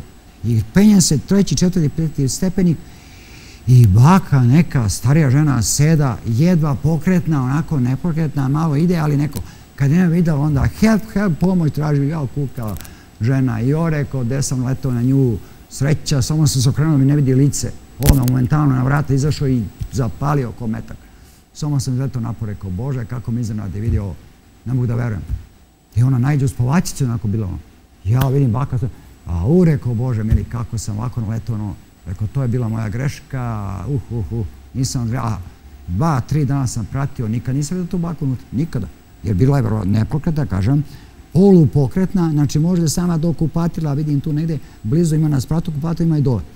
A ovaj, i Znači, kad je baka ono bila gore, skroz, ja dole, gledam, mogu vere, mislim, sanjam, kako ovo nije mi se nikad desilo. I ona kad rekla, help, ja pomoć traži Bože, dere se na sav glas. I si ja u strahu da ćeš negdje biti uhvaćena deo? Pa postoje uvek strah, Mariću. Ne mogu, znaš, da vas slažem ništa, postoji uvek strah. Kad god dajete tako nešto, znači, e, srce radi ubrzano, normalno, radi ubrzano, e, živci su meni ono dobro sačuvani, ali uvek je postao strah. Uvek. Svaki moj rad je postao strah, jer nisam radio obične vale, nego baš visoko rizične ove vale, gde su baš buržuji, bogataši. E. A te bogataše sam baš teo njih. Baš sam teo njih. To su glumci, sportisti, sad ti znam, oni su puni kao brod. E, baš sam njih teo da radim. Svi su mi govorili, nemoj popet tamo diš, tamo je opasno. Rekao, baš tu i hoću tu baš da je opasno, tu i hoću. To je za mene izazov. Ja to hoću. Jer znam da su tu pare. Šta su sve ljudi držali po kućama? Pa svašta. Bilo je, bilo je tu jesaga, da, da, zlati, bilo je svašta, svašta je bilo. Jednostavno našao kasu jednu, bila je kocka, nije bila teška. E, ta kasa me za malo ono, neću izgovorim tu reč užu, da me zezne, nebitno, ovaj, evo, olike veličine, nije bilo nešto teška kasica ali je bila nekako spavaća soba ja sam otvorio ove fiokice, našao zlato sve okej i pap slučao, udarim u metal, rekao šta ovo ispod kreta, pogledam, izvučem ona ručka i kasa, kao kod, naš, kod nas su bile neke zelene kase, s ručkom moza se zaključaju. E, kod njih isto tako imaju te kase. Rekao, šta je ono te, gledam, gledam, mučka nešto, ima nešto, ali nemam ključ. Rekao, ne veze, ponijeće ovu kasu sa mnom. Međutim, dugo sam se ja zadržao, više od 7-8 minuta unutra. To je već vreme kad do 10 minuta policija već stiže jer neko javi, dojavi da nešto nije u redu u toj vili. Uvijek komše neki vidi. Ja znam koliko mi vremena treba. I ovaj, do deset minuta ja sam se malo duže zadržao zbog te kase. Razmišljam, da li ću ponosim ili neću. A već sam sve utrpao u treneku. Vežem, nosim se uvijek lakosta za džogiranje i kad izađem napolje, izađem ja, žive orade ovako, izađem i gledam gdje je Laura, kad najde auto mi, najde redno i policija, ja džogiram, idem, ništa me nisu izvali. Policija što čuva, ja džogiram trenerka, plava, lakosta, normalno lepo, bučne patike, sve original, i gledam, džogiram normalno, a ono zvecka, ono dzike, cake, dzike, i ja rekao samo da ne čuju, Bože mili, da ne čuju policija ovi. Međutim, ne. Prvo, uspore malo, meni je srce ck, ck, malo jače lupa, osjećam ja ono da nešto, ali rekao, neće valjda, da ja Bože, ono, molim Boga samo da me ne startuju. I prođem ja, prođem, prođe policija, vidi ono, ok, u redu, još ja se nasvećim, pozdravim ih. Pozdrav, jer vidim način kako treba, to tako treba, mora. Ne može ništa da bežiš ili ovo, ne, ne, samo se normalno ponašaš i nema policija da ustaje. A oni su duže čuvaju to, ljudi plaćaju da čuvaju i nisu mi zvali. Tad je bilo rizik za malo, za dlaku da padnem, za dlaku. E. Je Laura htjela da budete u talu, da delite na ravne časti ono što opljaškaš? Ne, vidite, gospodine Mariću, ovaj, nikad ona meni nije tražila nikad, ništa, nikad ništa. A za mene bi uradila sve. Znači, rekao sam, ja sam nju tako uh, išao, išao polako, polako da bi je nekao pridobio, dobio i vidim, ja jeste, jes, ono, sviđa mi se, sve okej. I vidim ja, njoj se sviđam. I normalno idemo razgovore, to traje skoro koliko, do mjesec dana otprilike. ti ona govorila treba da radiš nešto drugo, nije u redu jeste da me savjetovala, jeste, jeste, savjetovala me. Pa što to, nemoj poginut ćeš, nemoj ubit ćete, vidiš ovdje šta je. Bio jedan primjer da su gledali, isto u tom delu Merksema, da sam ja radio u isto vreme, jedan je sam bio sa BMW-om, odradio drugu neku viru, ja nisam znao ni ko ni šta je.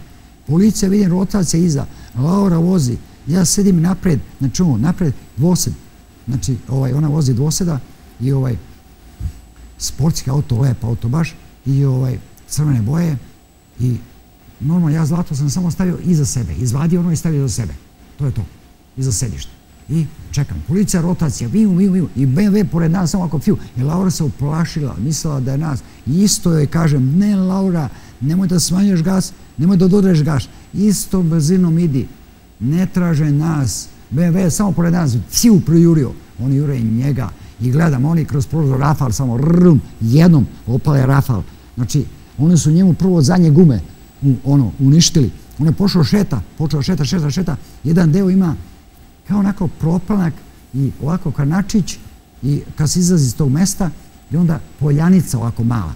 On je s BMW-om, taj čovjek, negde oko 30 godina, ako sam ja procenio, 30-35, znači sam je bio u BMW-u, uradio neku vilu, sam, tu se nešto zezno, policija njega i čekala, a ja sam uradio vamo i ubao sam cifru 80.000 tada, da.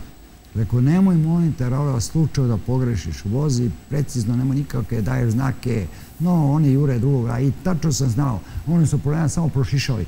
I ona vozi, gledamo šta radi, oni pucaju, oni su nas obišli da bi nas povredili. Znači nas kao da zaštite, a mi u stvari smo isto uradili delo. I oni obilaze i meni drago, ali nisam, bilo mi poslije krivo i žao što ubiše čoveka. Ubiše ga policija ovdje. Prvo gume, tras, on počeo šeta i samo ovako u kanalčić mali ovako i krenuo dalje on na prednjim točkovima pogoni da bi išao i dalje, a već je vidim i ranjen, teško ono ne može jer je probio i staklo, policija je pucala jedan je pucao dole s prozora ovako kao u filmu, jedan drugoga i ovaj gađa gume, ovaj gađa gore Znači da ga likvidiraju, tako je koji nije bio zakon, nema. Čim bežiš, odmah likvidacija, tras. I ovaj, ja znao da je to rizično tako. I ovaj, i kažem, ispred nas se to desilo nekih 50 do 80 metara.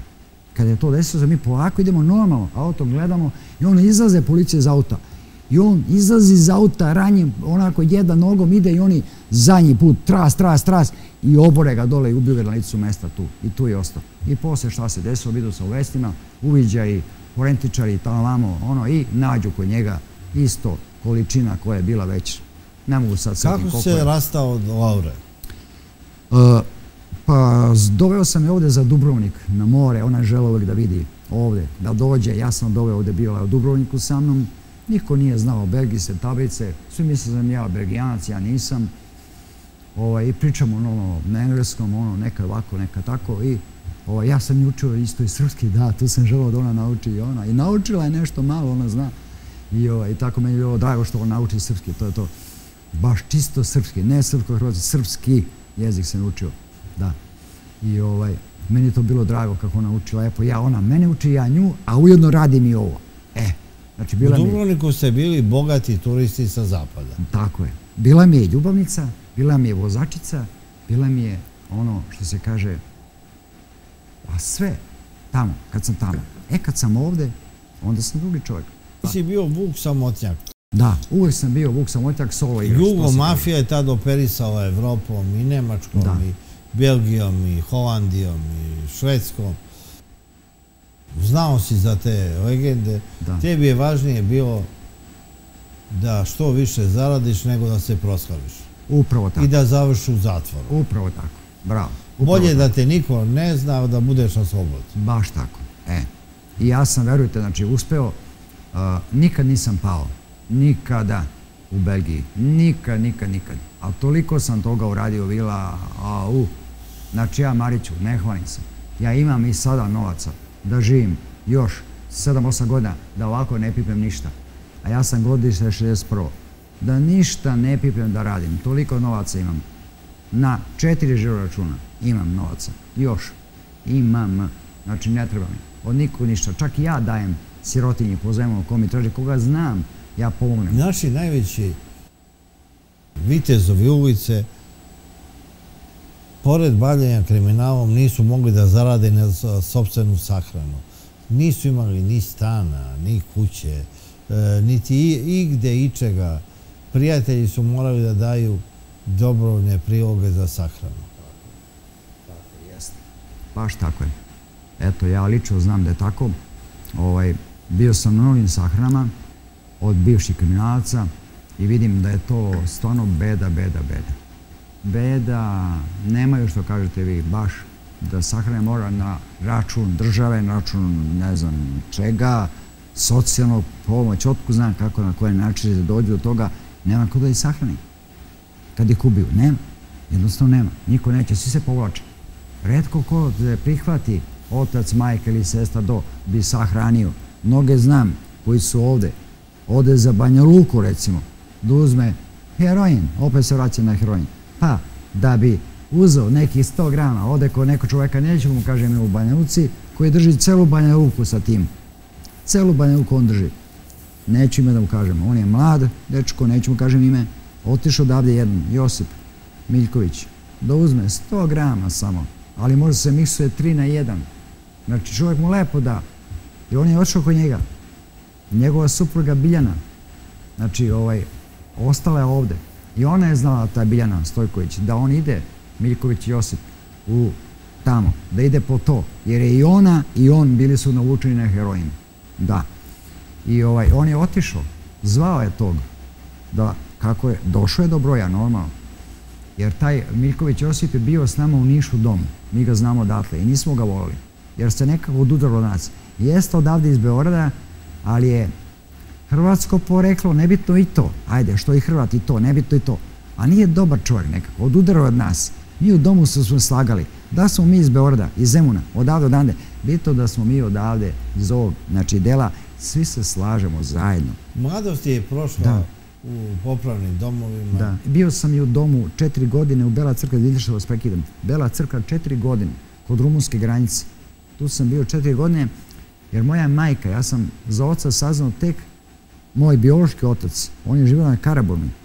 Ja sam njega video prvi put kad sam imao 19 godina. Nikad nije mi poslao ovako ništa. Zašto? On je bio neradnik.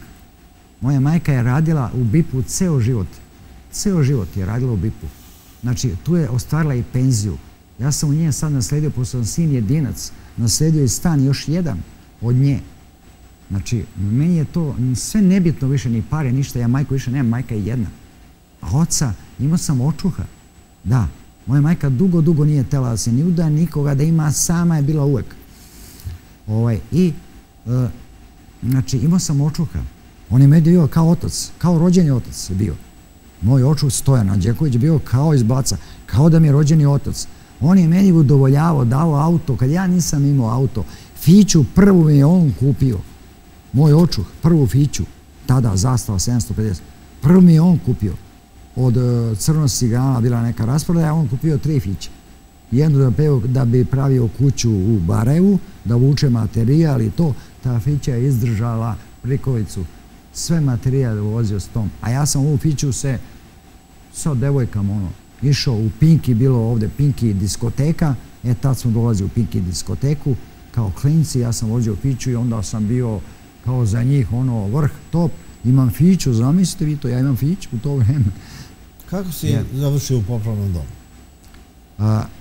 popravni je, da, dobro, ovo je, bio sam u Mimoše Pijade godinu dana ovde u Staničkoj, da, i tu sam bio. Nikad ne bih rekao da je to dom. Moša Pijade, da. Tu mi je bilo ekstra. To ima od bebe do fakulteta. Čak i završe fakultete, idemo u grad, no, niko ne zna da smo mi u domu, da smo domci. Niko. To u, u Ustaničkoj. U Nišu već znaju. I onda te devojke u Nišu... I te majka poslala u dom? jeste u centru za socijalni rad. Zato što moja majka nije mogla, nijedan gazda neće da izda stan. I moja majka nije imala stan. Neće da izda gazda stan, tu u broj 60 Dunavska recimo, primjer, dajem, tu smo živjeli. Ja ne, nisam mogao, ponekad je rasput, samo kad je rasput mogu da dođu kod majke da vidim, ili ona mene. A iako sam u domu. Ovaj, gazda nije dozvoljavao. On je imao dvorište veliko, sedam izdavo sobica i mala kuhinjica i to je to. I to je cifra bila velika. To je taj gazda, Bjelobar se predzivo. Ovaj, da, i moja majka nije mogla da iznajmi, znači da bude sa mnom. I ona ošla u centar da vidi šta će da uradi, šta da radi. Kako si proveo godine u domu? Šta su domci uradili u životu? Jesu postali kriminalci? Je neko napravio neku karijeru? pa vidite ovako, u Bela crkva bio sam mnogo mali, to je bilo 71. godine. 71. Znači tu se ne sjećam baš, sjećam se kroz maglu nekih, ali meni nisu toliko bitni bili. Nema nikog iz tog doma gdje sam bio četiri godine. Mi smo imali tamo park, lepo sve izađemo, tu smo u domu, ali mora si tu i to je bilo strogo, vaspitači su bile pre nama strogi i tu hriso si svašta, svašta, svašta. Znači to je bilo užasno, užasno. Tamo se dobijala i šuga i svašta ono i oj, oj, oj, to ubi Bože, ubi Bože. Na kupanje može samo jednom nedelju. Eto. A sve plaća centar soci rad, daju pare, oni kažu sve imaju, a ostali daju nam paštetu, parče leba je, to jedemo. To jedemo. A centar plaća za soci rad odavlje iz Zemuna. Sve daje tamo. Novac. A oni nama daju to da zdolčak. Bokal čaja i to od šećera onoga i pače onoga, recimo, ili I salami. I u školu? Da, da, išli smo u Beloj crkvu školu, da. Da, išli smo u školu iz tog doma, normalno, spakujemo svoje knjige, sve, sve, i svako ide u tu školu. Ne mogu setiti kako se zvala škola. Blanuša je bio, da, on je bio direktor te škole Blanuša. Ovaj, njega se sjećam dobro, direktor škole, ali već učite, a slabo se sjećam, ne mogu. To već, to je bila osnovna škola. Ovaj, i u Nišu si već bio odrastao? U Nišu sam već, da, da, da. Da, ovde Ustanička se završio semi kad sam bio u domu Ustanička, isto otvornog tipa, ideš gde hoćeš, radiš što hoćeš, gde god, ne možda, samo da ne kradeš, to je bitno, da ne kradeš. A ja sam volao devojke. I vaspitačicu sam imao, na drugom spatu, dva puta uhvati sa devojku u patru. I kazna. Tras nema izazak u radu. Ja ništa, trpim, čutim, šta ću? Nema, dva dana izazak u radu, ajde dobro. Uhvatim u patru s devojkom, šta ću? Drugi dan, treći, četvrti, četiri dana opet uhvati s devojkom u patru. Ali sa drugom, Jao Bože mi. Onda kazna još četiri dana, plus duplu kaznu. Dajema grada. A meni je samo do grada da idem. Ja moram opet još četiri dana, budem u domu, nigde ne idem. Jer mi tamo sami se organizujemo, bilo u Ustaničkoj, odemo u radnju, dogovorimo se šta ćemo danas da jedemo i sve napišemo šta hoćemo, ali da to bude neka cena, ono ne bude visoka, a nije mnogo niska, ono, ne svako ono što hoće. I odem ja odnesem vaspitačici i ona mora da bi pročita, da vidi, da udari peča, da potpiše direktorka pečata, ali da odobri. Onda se spustim sprat prizemlje kod direktorke, ona udari pečat, ja s tim računom odem u ranju blizu je i pođe još neko sam da ponesemo za nas, recimo, petnestak, devojaka, mlaka, dece i male, bilo i beba i sad ti znam. Svi su mi čuvali jedan drugoga tamo u tom domu Moša Pijade. To je mnogo dobro. Mnogo je dobro to, verujte. Do fakulteta može ostane. Čak jedan je ostao tamo da radi kao ložač za parno grejanje. Nije imao gde je čovjek, nema stan, nema majko, nema nikoga. Eto, nije imao nikoga. I ovaj, i dobro, to je ustanička. Niš, karijeru, pitali ste me, znači karijeru jedino što ja znam da je Čebić Borivoje. Čebić Borivoje, on je, on iz Užica.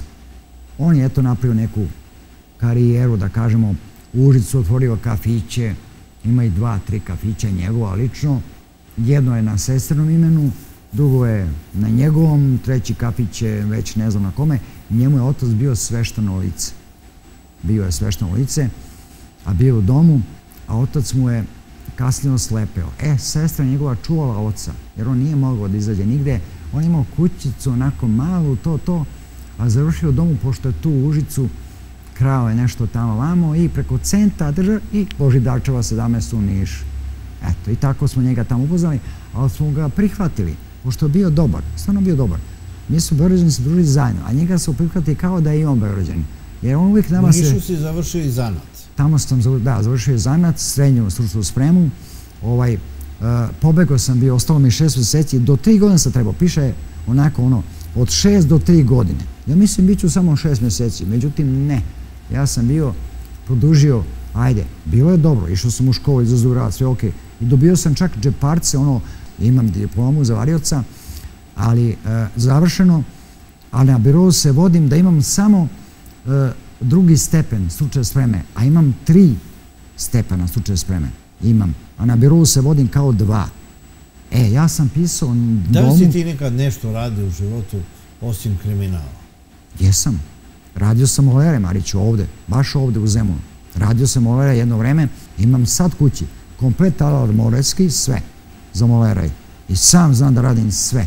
Evo u Zemun polju, recimo, znaju mnogi kojima sam radio stanove radio, renovirao, znači renovirao, od pločica keramičkih, što se tiče italijanske, koje god je bilo nebitno.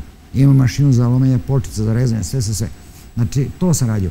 Kad mi treba pomoć, ja uzem nekoga, znači znam ko radi taj zanat i njega pozovem kao pomoć, da mi pomogne, da mi meša sklepak, da mi nešto pomože, pomaže, dodaje i tako to. Sve sam radio Mariću sam. Pekaru sam ovu zemlju polju sredio jednu u centru zemlju polja, Znači, top, što kažu klinci, ekstra. Ali od rada se niko nije obogatio. Ali radio sam, hoću ja pošteno da radim. Radim, hoću. Evo sad zadnjih godina ne radim ništa, kažem. Ne moram radim 5, 6, 7 godina ništa, imam novaca. Ali ja opet nekad nešto uzem, vuče me da radim. I kad idem na pecanje, odem. Kad je sezona, mogu, odem, volim pecanje. Ali nekad uzem i da radim, vuče me želja da radim oleraj, ne znam zašto. A vidite, završio sam na varjuca, a nikad taj posao nisam radio. Nikad u životu a iz prve sam položio, ubacim u neki kazan od 1000 litara i unutra da zavarim, ja pun var od ozdo krem, da, da, da, oni sipaju vodu, nigde kap nijedna nije izašla. Kad se to uradi, onda si položio. Jesi iz doma dolazio kod majke, ona tebe posjećivala? Jeste, jeste. Dolazila me je u Belu crkvu, mi je dolazila, e, dolazila, ne, u ovde u Ustaničkoj nije, posle ja mogla dolazim, on samo mi je dolazio u Belu crkvu jer tamo nam nisu dali da idemo kući, ovaj, samo za raspust može, ako dođe majka po mene. E, i majka je dolazila u Belu crkvu po mene, neka dođe samo u parkić, negde me izvede, a pita direktora, on se isto direktor prezivao Popović, tada Popović se prezivao isto kao ja, po tome ga i pamtim, da je se prezivao Popović, direktor. I kad majka dođe, ja se obradujem, kupim mi neki nešto od garderobe, meni tako drago bilo, joj, joj, kad vidim nju, uh, dođemo tu kao... Tvoj šurak je morao da promeni ime, da postane Nemac. Da. On je bio kriminalac visokog stila. E, i ostaje takav, verujte. On dođe ovde, sad nikoga ne poznaje. Niko. Verujte, niko ne može ga poznati. Nema šanse. On ima drugi pasoš, drugo ime, prezime. Promenio je tamo advokat, završio. On je Nemac. On je dobio, da, On je dobio tamo od Nemaca oštetu 3 miliona maraka. Zato što Boris Samadžić, koji je bio s nama isto u domu, a kasnije postao terohranitelj kod eh, predsjednika Borisa Tadića, bio mu je terohranitelj, jer je bio krupa momak, visok, jak, a to su čisti mišići, ništa na bolici, ovo ono, čisti mišići. On se od nas odudarao, bio je visok, jak, krupan, znači, i stvarno bio jak, baš jak. A Božidar je ovaj, bio baš vrh. Ono što tiče i u domu je bio, mi su se poštovali, ja njega i on mene. Ja sam njegov, vidite, sestru ženio, a nisam trebao. Ja kažem, Božidare, tvoja sestra se meni nabacuje. Molim te, vidi se on to reši. Ako tebe neću dolaziti u stan, on živi u Zemunskoj, tamo je žive u Zemunska, gde je ona zgrada crvena dugačka na stubovima. Rekao, neću više kod tebe dolaziti. Tvoja nada, sestra se meni nabacuje. Rekao, ja to osetim i znam, vidim, I sve šta mi kaže, kad ti nisi tu, ja mu kažem otvorno kao drugu, zajedno su bili u domu, ne ide, da ti sestu ja ženim, da se on se zabajam, neću kontakt nikakav s njom, mogu samo zdravo za zdravo. Međutim, ona ne, toliko je bila navalentna, navalentna. Kad ovdje nas vidi, ona iz Tržiku park da vidi da sam ja došao, da ona vidi mene, da bude sa mnom. Čak i dođe mi ovde u Dunavsku gde sam živao sa majkom, tu, kad dođem nekada. I tu sedi i čeka. Ja dođem samo vrata, čujem njen glas, bežim nazad i odmah odem na Dunav ponovo. Samo da uđem unutra da vidim. Ipak se oženio se. I opet na kraju, eto, opet na kraju se oženi, posle ne znam koliko oženi se ono i Božida kaže, kaže, slušaj, kaže Slaviša, imaš ono moje, što se kaže, blagoslov, znam, vidim, nada, moja sestra, vidiš, zaljubila se, kaže, pusti, mi ostajemo drugovi, prijatelji, sve to okej. Bićeš, kaže, moj zet, ja tvoj šurak, okej, že to ja prihvatam, u redu je. I tašta i tas moji su prihvatili to. Miloš Bjelivuk je bio gost. Kod mene, kod mene. Da, e on je meni uh, od moje, znači te nade, moje nade ujak. Ujak. Miša Bjelivuk je ujak. Miloš Bjelivuk je ujak od moje supruge prve Nade Cvetković. Nikad nisam teo da venčam. Uvijek je ostala Nada Cvetković. Nisam hteo da venčam. Iz razloga tog. Baš zato. Ona je navaljivala da venčam. Ne. Nisam hteo. A imam čerku s njom. Ona, moja čerka 83. godište. Nisam teo da venčam. Zato što je bila navalentna. Kasnije smo ušli već ono bliže intimnije, ali nekako mi nije to išlo zbog poštovanja i Božidara i mene. Ono, mada i sam imao blagoslova. Šta je tvoj nije. šurak radio u inostranstvu? A, pa radio je svašta. Svašta je radio i onda su ga a, bio je sad, ne mogu njegov ime da spomenem, živio još tu u Bežaniji, Milo, Milosavljević, samo ću reći, eto, Milosavljević je bio na robiji tamo u, znači u Nemačkoj, bio je, ja mislim, u Minhenu, da, da li Minhen, ne znam, ne mogu se bio je na robiji zbog Cvetko i Božidara, jer je uzeo delo na sebe. Njemu su našli u stanu, tom Milosavljeviću, kilo i nešto heroina. Gde? Ovaj je na suđenju, to se ne priznaje tamo. Ima samo snimak telefonski gde je Božija rekao Milosavljević, odnesi Turčinu 600 grama, odnesi Kinezu 200, znači gazdova je, kako da vam kažem, sedi u kući i samo kaže u stanu tamo, znači u Nemačkoj i kaže odnesi to tamo to, toliko količinu tamo to, znači to je radio samo jedno vreme. E onda, uradio je nešto što nije trebao. Uze neku bundu da bi svoju ženu iznenadio sa tom bundom, pošto je bila skupa bunda, i ovaj, da iznenadi nju, da je obraduje s tom bundom. E, ta bunda ga je koštala tri godine, bio u zatvoru zbog te bunde, kao dokaz na sudu. Znači, to što je pričao telefone Arabe nisu se priznale, ali ta bunda je dokaz bila da je on učesnik u tom delu. Zato je bio u istrazi tri godine. Kasnije advokata nađe nekoliko advokata menio, menio, našao najboljeg vrh. Znači on su traži nešto 15-20% advokati. On je rekao advokatu idemo pola, pola. Kolika god da ošteta, ako možeš, uradi mi to. On je njemu to uradio. Znači iščupo ga iz pritvora, iz istrage. On je dobio oštetu 3 miliona. Kupio je hotel u Hanoveru. Hotel u Hanoveru je kupio lično on. Advokatu je ispoštovao i dao. Znači, ne to što je rekao advokat 20% dao mu je polovinu. Tačno polovinu mu dao, kao što je rekao. Dao mu je, znači, milion i pol. Jesi sa Šurakom radio neku akciju? Ne, nikad. Nismo. U Nišu, ono, sitno što nešto tako, kad idemo u rad, to je sve ono pilićarenje, što se kaže. Eto, to je ono, čisto nama bilo, kako kaže, sprdanje, ajde, ono, to nisu dela, to su ono, bez veze. Eto, smešno da pričam. Pa govorilo se da su najveći šefovi mafije poput Ljube Zemunca, Ćente i ostalih od vas koji ste radili kao samotnjaci, otimali robu, tukli vas, reketirali. Je to da. istina? Mene nikad niko nije reketirao. Pokušao je Spasović, rekao sam da me reketira, da sam bacio 500 maraka. Rekao sam, evo ti, na oni kilo i 200, evo ti 500 da vidiš da imam para, da meni tvoji ne treba ni heroini, ni pare, ništa, da imam sve.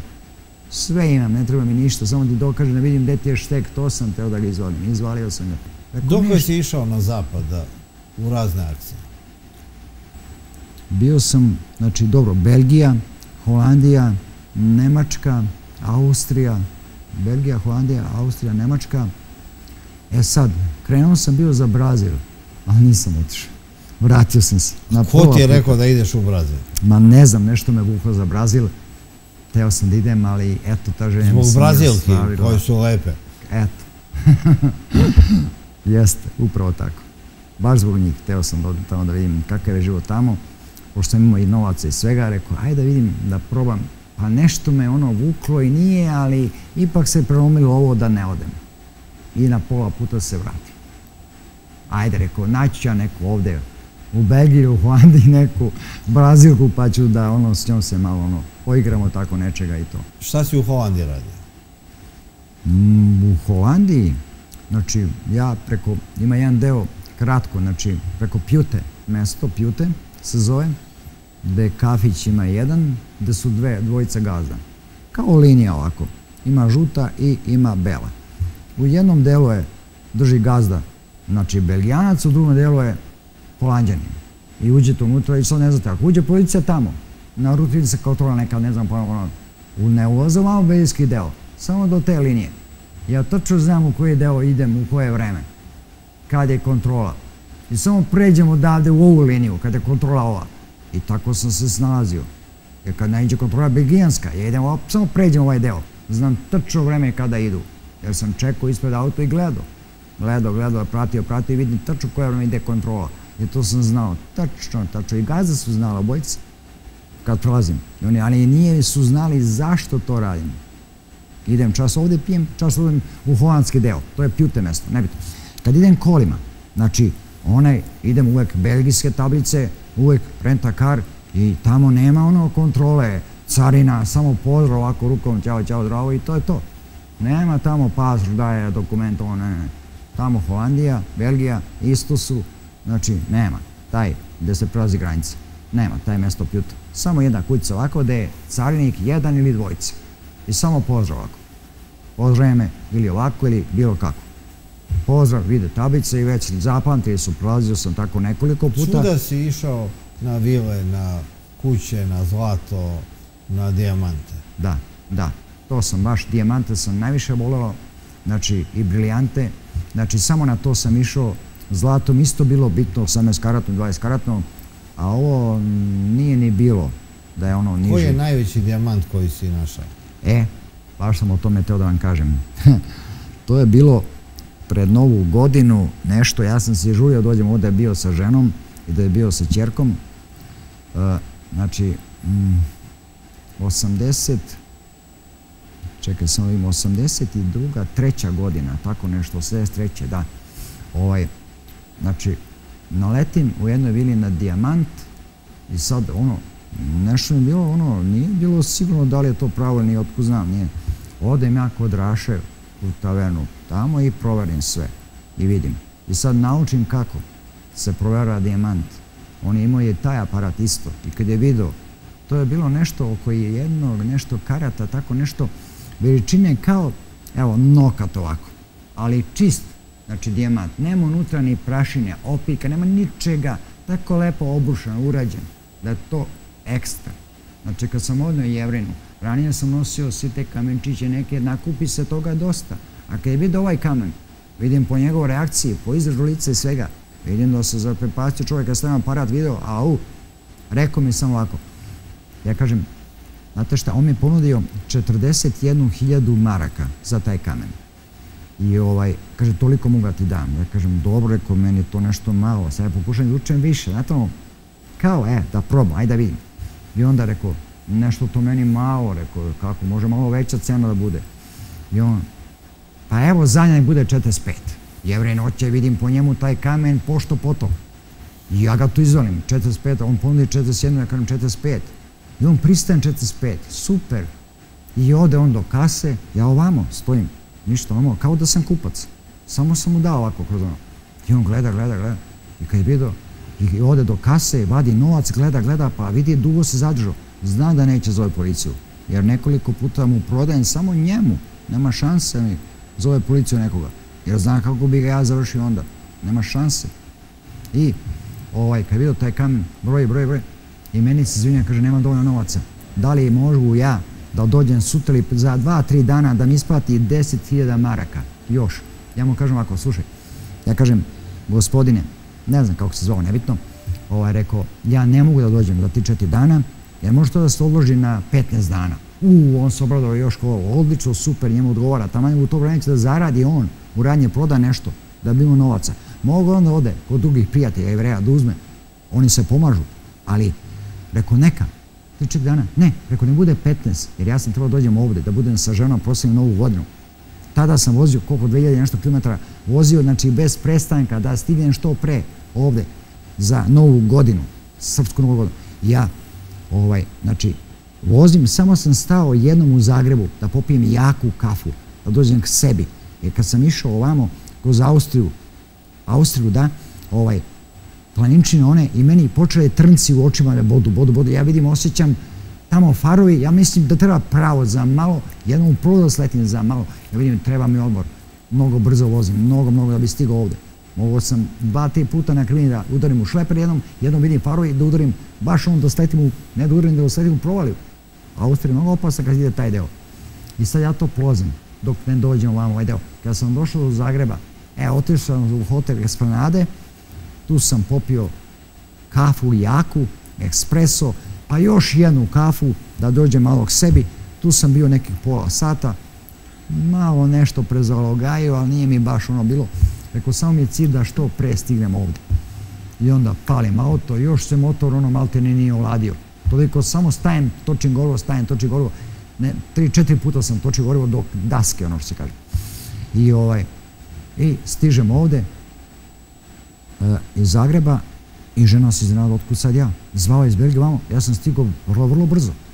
Ovaj, I videla, i ja stižem auto pun poklona, svega za čerku, za ženu, još iz zlata sam nosio, a imao sam svoj kartijer. Na care nikad nisu mogli provali. Kartijer lanac, koji sam prvi, znači uzeo diponu pajac zlatan, dipon i kartijer lanac. To nikad nisam teo da prodam, jer iz te prve svog grada se ništa ne prodaje jer to je neko pravilo, ako prodaš, onda imat će da te maler tera, nećeš ništa moći da uradiš. ćeš na sledećem delu i nekom trećem delu, petom, nebitno. E, to sam čuo kao oči u svojoj glavi. Nikad nisam to prodao. E, kad hoću nekom poklon mene ovde, majci, nebitno kome šta, ženi, najviše ženi. Ovaj, I čerci normalno, ali ne zlato, nego igračke i tako nešto, ona je bila mala i to. Pun auto svega. A na lanac ovde, narupice, prstenje, To je sve okačeno, visi, vidi se vrat ovde, urezalo se. Meni lanac pun zlato, ako ovde buđa, vidi se ono, ali care nikad nisu provali, nikad. Ja prođem ovako, prođem ekstra, auto, ono, vidi se ono, be, belgijske tablice, nema šanse da mi ono, ništa, samo pasor dam normalno, pregledaju, još oni kažu ono na svojim jezicima, nemačko, holandsko, sve, doviđenja s Bogom, to je to. Ništa, ovo i tako. Dođem ovde i s njima, kad dođem, oni se svi obraduju, svima kupim nešto i komšijama, i svima poklonim na ono, kad god sam dolazio, svako sam davao poklon. Volao sam uvijek da pomažem sirotinji, uvijek i dan danas to radim. Je te isplatio taj jevrej? Jeste, jeste. Ja sam auto uzao od renta kara na 14 dana. Da, na 14 dana. Vratio sam se, vratio sam se, ne 14, nego 15. dan sam se vratio, kasnio sam, a kad kasnim onda doplatim to još malo nešto i nije bitno, to je sitno, ajde, za jedan dan. I, ovaj, i došao sam, 15. dan i Jevrije video normalno našo odnos nastavili smo i dalje isto kao da smo radili kao našo još on bio sretan što sam ja on rekao 4-5 ja mu rekao 15 14 rekao pa 15 znaju li e, jevreji u Antwerpenu koji kupuju dijamante da je to okradeno mm, ovaj što mu ja prodajem znao je da a za ostale druge ne znam ali oni znaju i čute među sobom nikad neće niko da iza jevreji niko ni jedno. I da oni ponovo režu da ga neko ne nađe. Ja mislim da on kad je vidio taj veliki, da on njega možda napravi jedno četiri, pet dobrih, dobrih komada i da ugradi u neki prsten i da to proda ekstra za cenu, znači da zaradi dva puta više. To je to. Zato je taj veći što sam ugao dijamant, toliko košto i tolika ponuda je bila. E, to je to. Ovde sam u Čumićevom prodao neko sitno kamenčiće, to je nebitno, bilo 11 komada. Koje tebi tipovo vile, kuće, bogate, koje treba da odradiš? Nisam ja imao tip nikada. Ne, ne Mariću, nikad nisam imao tip. Ovaj, uh, ja sam osetim ono, znam otprilike. Znam, osetim, nimam neki osjećaj što se kaže ono, njuh kao pas, ono, osetim da ima tu novaca, da se tu živi dobro, da je tu dobro, nema. Mislim, jednostavno osetim, znam takav osjećaj sam imao, sad više nemam, ali ovaj, imao sam takav osjećaj. Jesi nekad, ka, rekao što ja ne živim u ovakvoj kući kao ovi ljudi. Da, to sam uvijek želeo. Uvijek sam želeo. Čak sam i napravio kuću u selu Karlovčić. Karlovčić pa Karlovčić. Tu je, da. Tu sam napravio kuću, nešto u stilu kao, vidio sam to u Holandiji, jedan zid je skroz u staklu, unutra se ne vidi. Znate sad je to moderno, a to u vreme kad sam napravio, to nije postalo. Svi su gledali u tom selu, vidi ovo, kako stakleni zid. Bože mi, ceo zid stakleni. To je vrlo lepo su majstor radili. Kuću sam kupio mjesec zajednice, deset stari. Platio sam nekih 3000 maraka i kuća je bila, napravio se osnova dole, bila je 56 kvadrata, 56 kvadrata, potkrovlje, nisam htio da bude stil nešto visoko, nego da bude krov onako jedan niži kao u Holandiji i jedan skroz ovako spušten, skoro malte ne do zemlje.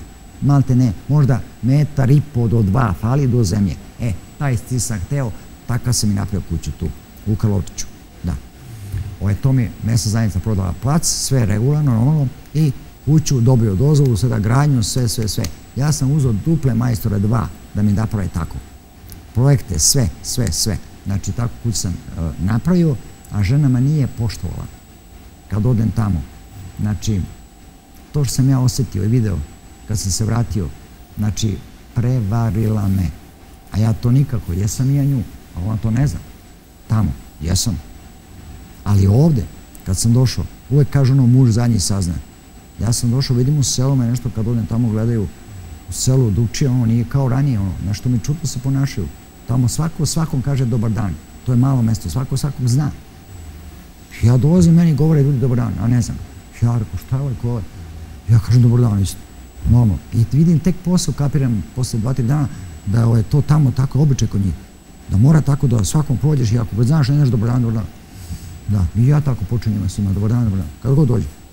Ako mene su dolazili tamo u Karločić, svi su volili da dolaze tamo, jer tamo sam ja pravio kuću, sam uvukao 11 metara unutra, plac, da, unutra ovako uvučena kuća 11 metara od trotoara uvučeno unutra 11 metara.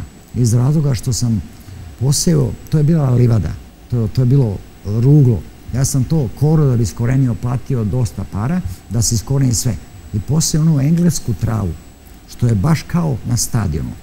E, i tako je bilo lepo, milina za uživanje. Eto, za uživanje, ništa više.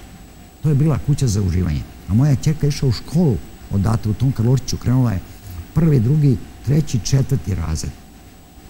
I do petog stala je, pa jednu godinu, e to me izneverilo kad sam bio u stranstvu, zašto se nije nastavila sa škole i dalje. To je moja žena pogrešala. Plus me prevarila. E onda sam udario Kad ti saznaješ da te žena prevarila? Kad sam se vratio, bio više puta, 15 puta koliko sam bio u Belgiji, da, i ovaj, tamo s nekim u selu, spanđala se sin kad ja nisam tu, odem, neka budem po 15-20 dana, ne dođem. Neka mjesec dana zavisi, ali svaki dan zovem telefonom. Zovem i kažem, ne sam mobilno, ne sam ovoga, nego sa govornice. Pun džep po 20 franaka, ona, zavisi, samo bacam, bacam, bacam, da vreme ide, ide, da mi ne bi preklono vezu. I zovem ženu, zovem majku, da se javim, da sam dobro i da je sve ok, da je sve u redu.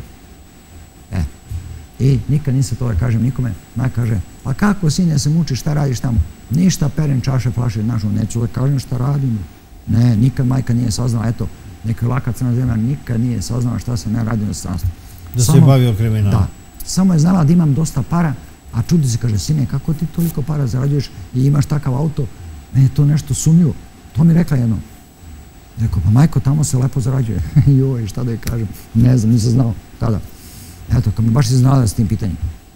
I ovaj, šta ću preći, to sam ono rekao, pa lepo sam zaradio, zaradio sam, radio sam duple smene, šta da kažem, pošto znam, seti se da je ona radila ovdje u Bipu duple smene nekada. Da bi što više zaradila, da bi ja imao, da jedem, da nešto da meni kupi tako. E, Kad si znači- saznala te žena prevarila... Da. Da, šta si uradio? Pa ništa, jednostavno se rekao, Nado, vidi ovako, da ti kažem, znam da ideš kod te slavice, kod jedne babe, odvedeš tog što ideš s njim Lale ga zvali, kako ga zvali u selu, Lale, tako ga zvali, da.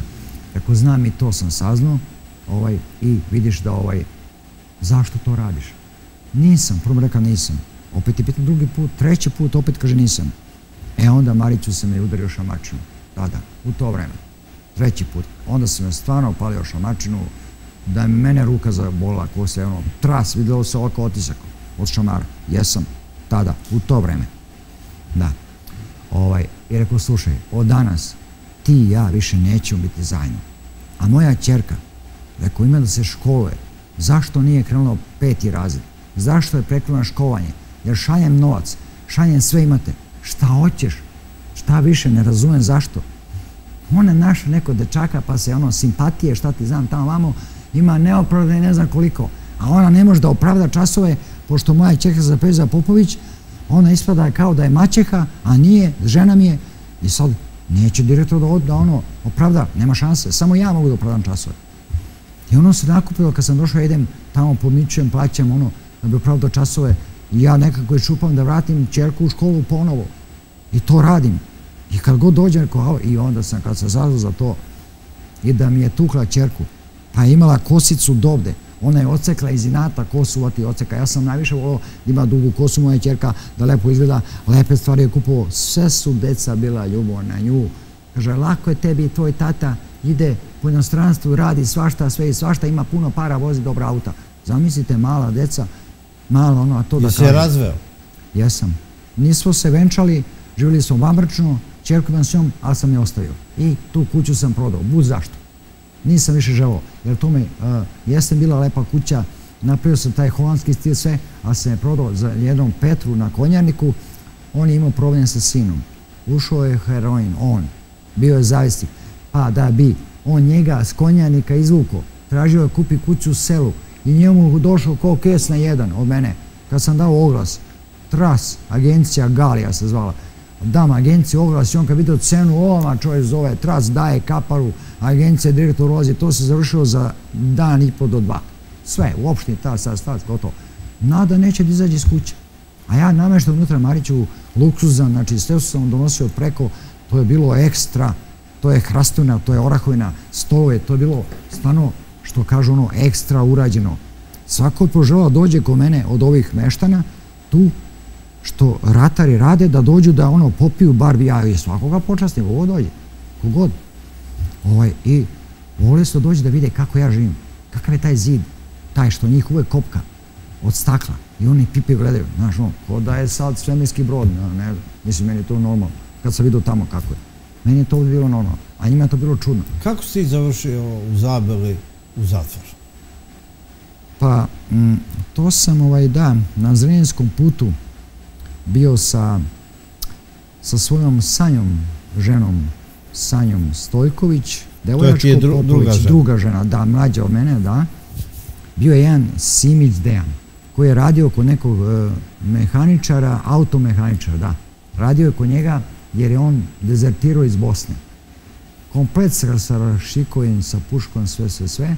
Upoznam tog Simić Dejana na pijaci Kanić i ovaj, on mi kaže, ja ga pitam šta radiš ti, ja kupovao nešto na Kanić pijaci, I on kaže, evo imam to, to, ja kupim neke stvarčice od njega i on mi se požali nešto, vidi on osjeti da imam novaca. Uvijek kupim kod njega nešto, jer ima stvarno lepi, lepi stvar neki. On je radio za nekog gazdu drugoga, koji ga je malo plaćao. I ja mu kažem, vidim, dečko simpatično, ako našo normalan, može se priča s njim. Nisam znao da je pobegao sa ratišta, tamo, nisam to znao. I ovaj, ja kažem, reci ti meni, za koga ti radiš? Kaže, neko Đoleta, za neko Đoleta sa crvenog krsta. Dakle, dobro, dobro znam koji je Cercka broj 3, da, da, znam koji je Đole. On je bio neko u nekoj grupi, tu rokerska grupa, bio sviru gitaru i njega, znam, za njega je radio. I ovaj, koliko te plaća kad je to rekao, rekao, koliko trebi tebe novaca da ti sam uzmeš tezgu, da držiš svoju tezgu i da lepo zarađuješ za sebe da radiš. I on kaže, ma ne treba mi više od 500 maraka. 500 maraka ti treba da imaš svoju težu, kaže da. I da kupim komplet, kaže, robu da imam i da krenem i da zarađujem. Ja izvodim 500 maraka, rekao sam mu doću sutra ti donesem. I sutra sam došao i dao sam mu 500 maraka. Dao sam mu, na ruke, ali da mi potpiše da sam mu dao. I on kaže, kada ti vrati? Neko, kad budeš zaradio. Kad budeš prodavao, zaradio, štedi, pa ćeš mi vratiti. Kad zaradiš, da ga probam da vidim koliko je iskren i pošten. I ovaj, i vratio me, stvarno, posle ne znam koliko, možda dva, tri mjeseca, tako nešto, vratio mi ti 500 maraka i ovaj, osamostalio se, znači ne radi više za to Đoleta. Meni je bitno cilj da on sam radi. E, I to sam ja ostavio. Zato što je bio tako mi nekako se uvukao pod kožu, da ono, nekako sam ga gledao, ajde, ok, dečko je dobar, znaš, ono, normalan je. Međutim, poslije se postavio da nije. Čak mi je namestio za to, kod tog mehaničara. Rekao mi, kaže, on je radio tamo, imao je ključeve od te radnje. Pošto je radio tu pomoći radnik, te mehaničar on je bio pomoćnik. Nema papira, nema ništa, izbelice, ovaj ga sartišta. I on ga držao, taj Petar ga je držao na kvarnu tu, radio za njega. A bedno ga plaćao, bedno, baš bedno. I on meni se to požalio, rekao mi, Rekao, pa ko je taj, on mi kaže. I ja i znam gde je stan u Kneziju Kraljevo, sve znam od tog gazde, sve sam saznao. Gde je, šta, kako. I koliko ga plaćao, sve sam saznao. I on meni kaže, Simić Dejan kaže, hajde Didijan, kaže, zaboravio sam da uzmem tamo, ostalo mi nešto bilo oko 8 sati. U ranji nešto kao da uzme, zaboravio tamo je radio i da uzme nešto njegovo, lično. Idem ja i moja supruga i on, zamisli, ja mu verujem, računam, ajde, ok, to je to. I on uključa uživo unutra i nosi televizor nosi muzički stub, šta još uzo? Televizor, muzički stub i dva ona za automobil, kako zove muzika, ono, to, da, da, sa equalizerima, ono, kako zove, nema to. Uzo to i kaže, to je njegovo. Kaže, on je tu ispavao, nimo gde je, jeste stvarno sobica bila, gde on tu ispavao i sve. I Odan Kajić, kad ne radi tu, odrane na pijaci Kajić. I tako zarađuje ovde, izrađuje sitno, ali na pijaci ima više. I on će da otkači to gazdu, da ga otkači i to. I on je njemu pohlo te stvari. I ispada da sam ja s njim to uradio. Ja dobijem. Bila je moja supruga, a nju nisam teo da spominjem uopšte na sudu. Sude mi kaže da lažem. Ja kažem ne, lažeš ne. I ja kažem ne, ne, ne. E, zato iz inata mi je dao dve godine i osam meseci Požarevca, sudija. Iz inata. Baš. Ti si postao saučesnik te Da, Ja sam čekao u kolima, ja i žena pričamo normalno, rekao, aj neku stvačicu će uzeti svoje, nešto što je zaboravio, otko znam. Kao donosi jedno, aj otvori mi gepek. Rekao, šta će taj televizor, to tvoje? Kaže, da, u sobici moje. Pa gde ćeš? Kaže, selim se, kaže, kod tog Đorđa, tamo u Cerska, na Crveni krst, kod njega. Što radi za njega? Kod njega se predstavlja, kaže, veća soba, ono, luksuznije i sve, i treba mu televizor. To je njegov. I to. I ta dva gleda, ono, sumio mi nešto, rekao, pa ajde, možda je njegov otku znam, radio je tu godine, ono, koliko ne znam ja. I ovaj, ja njemu povrem, ma nije prošao ono, ni mesec dana. Treba s mene policija vrata, ko meni ko supre, kaže, ajte s nama, kaže, u stanicu da date na informativni razgovor, da. Odem tamo, dam izjavu nomo kako ono, kako je bilo, kako sam vama sad rekao, da bi ja pušten bio drugi dan, da. Znači, posle izjave, drugi dan pušten. A supruga je puštena odmah. Odmah taj dan. Pošto mi je sin kući mali, majka mi je tu, ali ne može ona toliko da doji, ne može ništa, znači mora ona da bude majka kući. Ono. Ja ujedno i ja spašam nju. I u policiji i na sudu isto. Kažem, ne, ona je bilo ništa, ona nije ni znala. Mi o tome ništa nismo pričali. Nisam ni ja znao da on to radi. Da on to u stvari ukro tom gazdi. I televizor, I to sve što ukro, to je njemu ukro. Ispo ja saučesnik na kraju da sam i ja s njim ukro. Tako ispalo. A on je otkučao, imao ključ. Ja sam vidio, otkučavao je, ušao.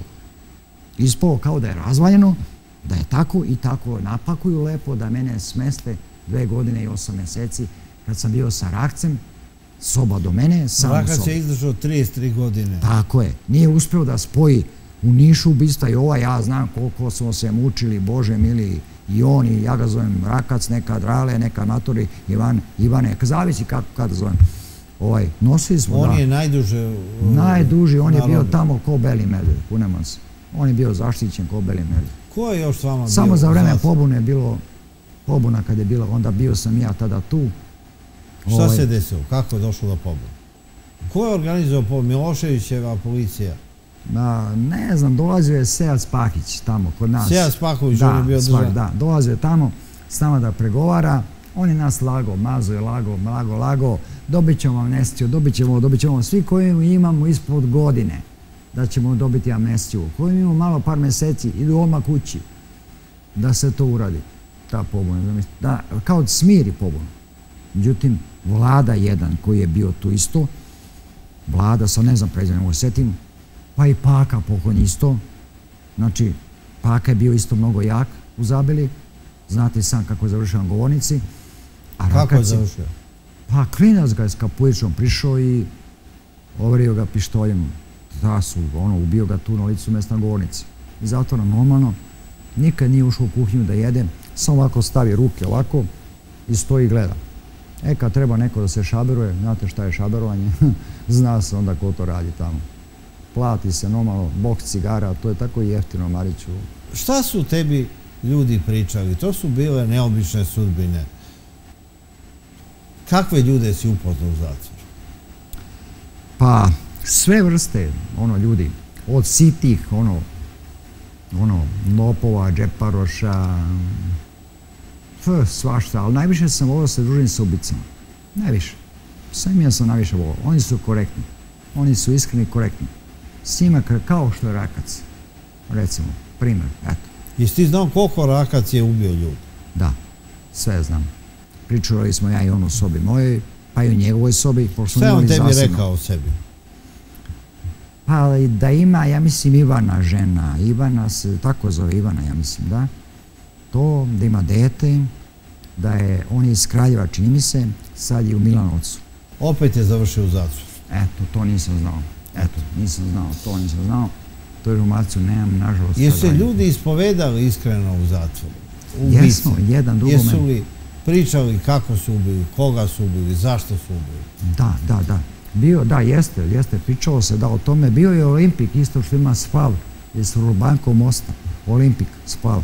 Bio je i on, isto. On je bio radio u kuhinji. Bio je pomoćih šefa kuhinje, pa onda je bio šef kuhinje, a bio je Buca jedan iz Boče. On je prvo bio on šef i on je za ubistvo odgovarao. Ovaj, I samo takvi ljudi mogu dođu na neko odgovornije mesto. samo ubice napreduju? Da, da, da. Ovaj, da, napreduju, a Raka snimao te sreće da ovaj spoji te kazne, nisu htjeli da mu spoje. On je pisao nekoliko puta, pravio je pobune. Slao ljude da se primio krove. Znači, Rakac je, nažalost, tako završio, a meni njega žao, eto, opet, sad ponovno završio, ja sam mislio, taman će krenuti, video sam ga, kada je krenuo, rekao, dobro je, izašao je, hvala Bogu da izašao, rekao, uspeć u životu. Ali očigledno da on ne ume da živi, ne može da se snađe u zatvoru. Da, resocijacija nije uspjela izgleda. Vidite, mnogo je proveo vremena u zatvoru i čini se da njemu to nije uspjelo. Koja je najšokantnija priča koju si čuo u zatvoru? Pa ne znam, meni je recimo najšokantnija me ova pohorska, pošto to bumbara lično znam.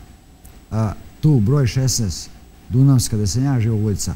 On je bio od vile četvrta kuća njegova. Njegovi roditelji su tako bedno živjeli. Bedno, radnička krasa, nemaju do čega da nemaju ništa. Mi kad stavimo cigle, one bili mali, igramo futbol, stavimo dve cigle ovdje na asfaltu slabo kola idu i dve cigle tamo. I taj bumbar dođe kod nas, mogu li ja digan s vama? Ne može beži tamo bre. Znaš, mi tako kažemo, ajde bre indijanac, beži tamo, diabolo, neko kaže diabolo, neko indijanac, ajde pali tamo. I on sedi ovako na onom travnjaku i gleda kako mi igramo. I non stop tako. Uvijek je teo s nama da igra futbol, mi mu nikad nismo dali. I igramo tako neki od nas koji smo malo tu Rama jedan recimo, pa iz Zemuna tako neki igramo futbol, tako eto, skupimo se naš 4-5, igramo nekad dvoje, troje, dvoje protiv troje, zavisi kako koliko nas ima trenutno tad, tog momenta, tog dana recimo, kad se dogovorimo. Na ulici, na sred ulice, samo autobusi neka pođu u garažu, tu ima jedna garaža i to je to i mi samo stanemo. Kako je on izveo zločin u Pohorskoj? Bio u samici, prva samica, rešetke, znači su ovako i on je, kad sam ja došao tamo, e, to je 0-0, znači samice, da su nula, znači ne vidiš nikoga. Tamo dalje su crvena linija ima i tamo su ti, da su ranije bili za one tita, oni čučavci, pa oni već, kad znate sami kakve se samice imaju, ne daj Bože nikome. Zato ima ta crvena linija. Ja sam jedno prešao tu crnoliju da vidim, interesno me šta je i vidio sam šta su tamo. To su niski čučavci za kolna, da ti propadaju čašice. Držete po četiri dana, to je vreme bilo one vladavine. Davno, davno, davno. Prošao sam i taj režim, nebitno, to ajde. Mnogi su tu stradali za političare ove koji su bili i oposlati su tamo gdje su bili, na golom da. Ovaj, da, to je, vidio sam umora, da, tada kad sam otišao, ja sam bio u Semici, a moj komšija je radio, on je čuvar, radio je baš tu na nuli nuli. Eto, moj komšija sad ne znam da li još uvijek radi, ne znam, dugo se nisam vidio s njim, ni čuo, ne znam da li još uvijek radi. Neću mu reći ime, nije bitno. A i mogu, Željko se zove, eto, on je čuvar tamo, možda je sad i neki veći čin, ne znam. Nisam ga dugo video. Šta ti je Bumbar rekao? Uh, nije ni, ništa mi rekao kad je prvi put me video. Ništa. Samo je čuto i gledao ko je. Jer mene vodi, znači taj komšija i još jedan komadir vodi me u semicu samicu. Čekam transport za ovo da idem za izdržavanje kaze. Ali, uh, Bumbar kad sam ja išao na šetu, jer tamo se ide samo onako po jedan, po dvoje, kako oni znaju ko s kim se slaže, ko ne. I onda i puste jednu dvojicu na šetnju, sada je to drugčije. Nije kao pre, ranije je bilo široko, veliko, pa se ide ovako u pocku. E, to je treći, četvrti dan, ne znam tačno, da mi se on obratio. Prvi. Kaže, popes to ti. Ja nećemo se javim, već znam šta je uradio, čuo sam, znači pre, znači dolazim ja sa slobode, znam šta je odradio to. Šta ti znaš u tom času? Znači ja sam znao samo da je sa taksistom jednim išao, taj taksista nije ni znao, on je dobio 7-8 godina robije, visok ja momak, ne mogu sediti tačak se zvao, bio u zabavi kad sam baš i ja bio. Dobio je 7-8 godina. Non stop je on pisao mobe da ga puste za pomilovanje, za ono, čovjek nije znao taksista, on je njega zaustavio. On stvarno nije znao da ovo ide u Pohorsku. Ubio je, znači, ovu, kako se zove, ženu, psa, dete, je li tako? Mislim, to je za mene strašno. I kad mi rekao Pope, ja kažem, slušaj majmune, još tu je ovaj, znači, stražak koji nije, ja ga ne znam, ne znam kako će onda reaguje, ja ne sam pričao među sobom. Pogotovo s njim. On meni se obraća preko rešetke. Pope, sto ti. Rekao, majmune, nemoj da ti razvalim, da te razbijem unutra. Čuvaj, komadir. A nije teo da reaguje. Čuvaj kad sam rekao, nemoj da ti uđem unutra, razvalit ću te. A uh, da sam mogao da dođem njega Mariću, da mi je bio blizu, kunem ti se, znači ja bi mu u CZ-u ja presudio, ja, lično ja. Eto, bio sam sreman na to. To da uradi, ebre, dete, dete, psa, ženu, ebre, to su živa bića, bre. To da uradi, to za mene nije taj ubica, ta vrsta ubice. Zna se ubistvo iz nekata, šta je? Ok, to je, da kažem, u redu. Olimpik što uradio isto to delo, ajde u redu.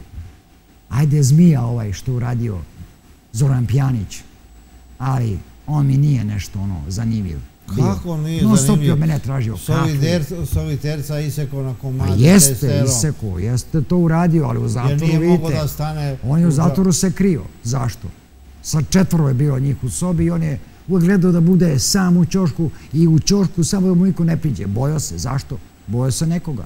U zatvoru. Znao se koga se boji. I koga je ubio. On koga je ubio. Eto. Zato i se i bojao.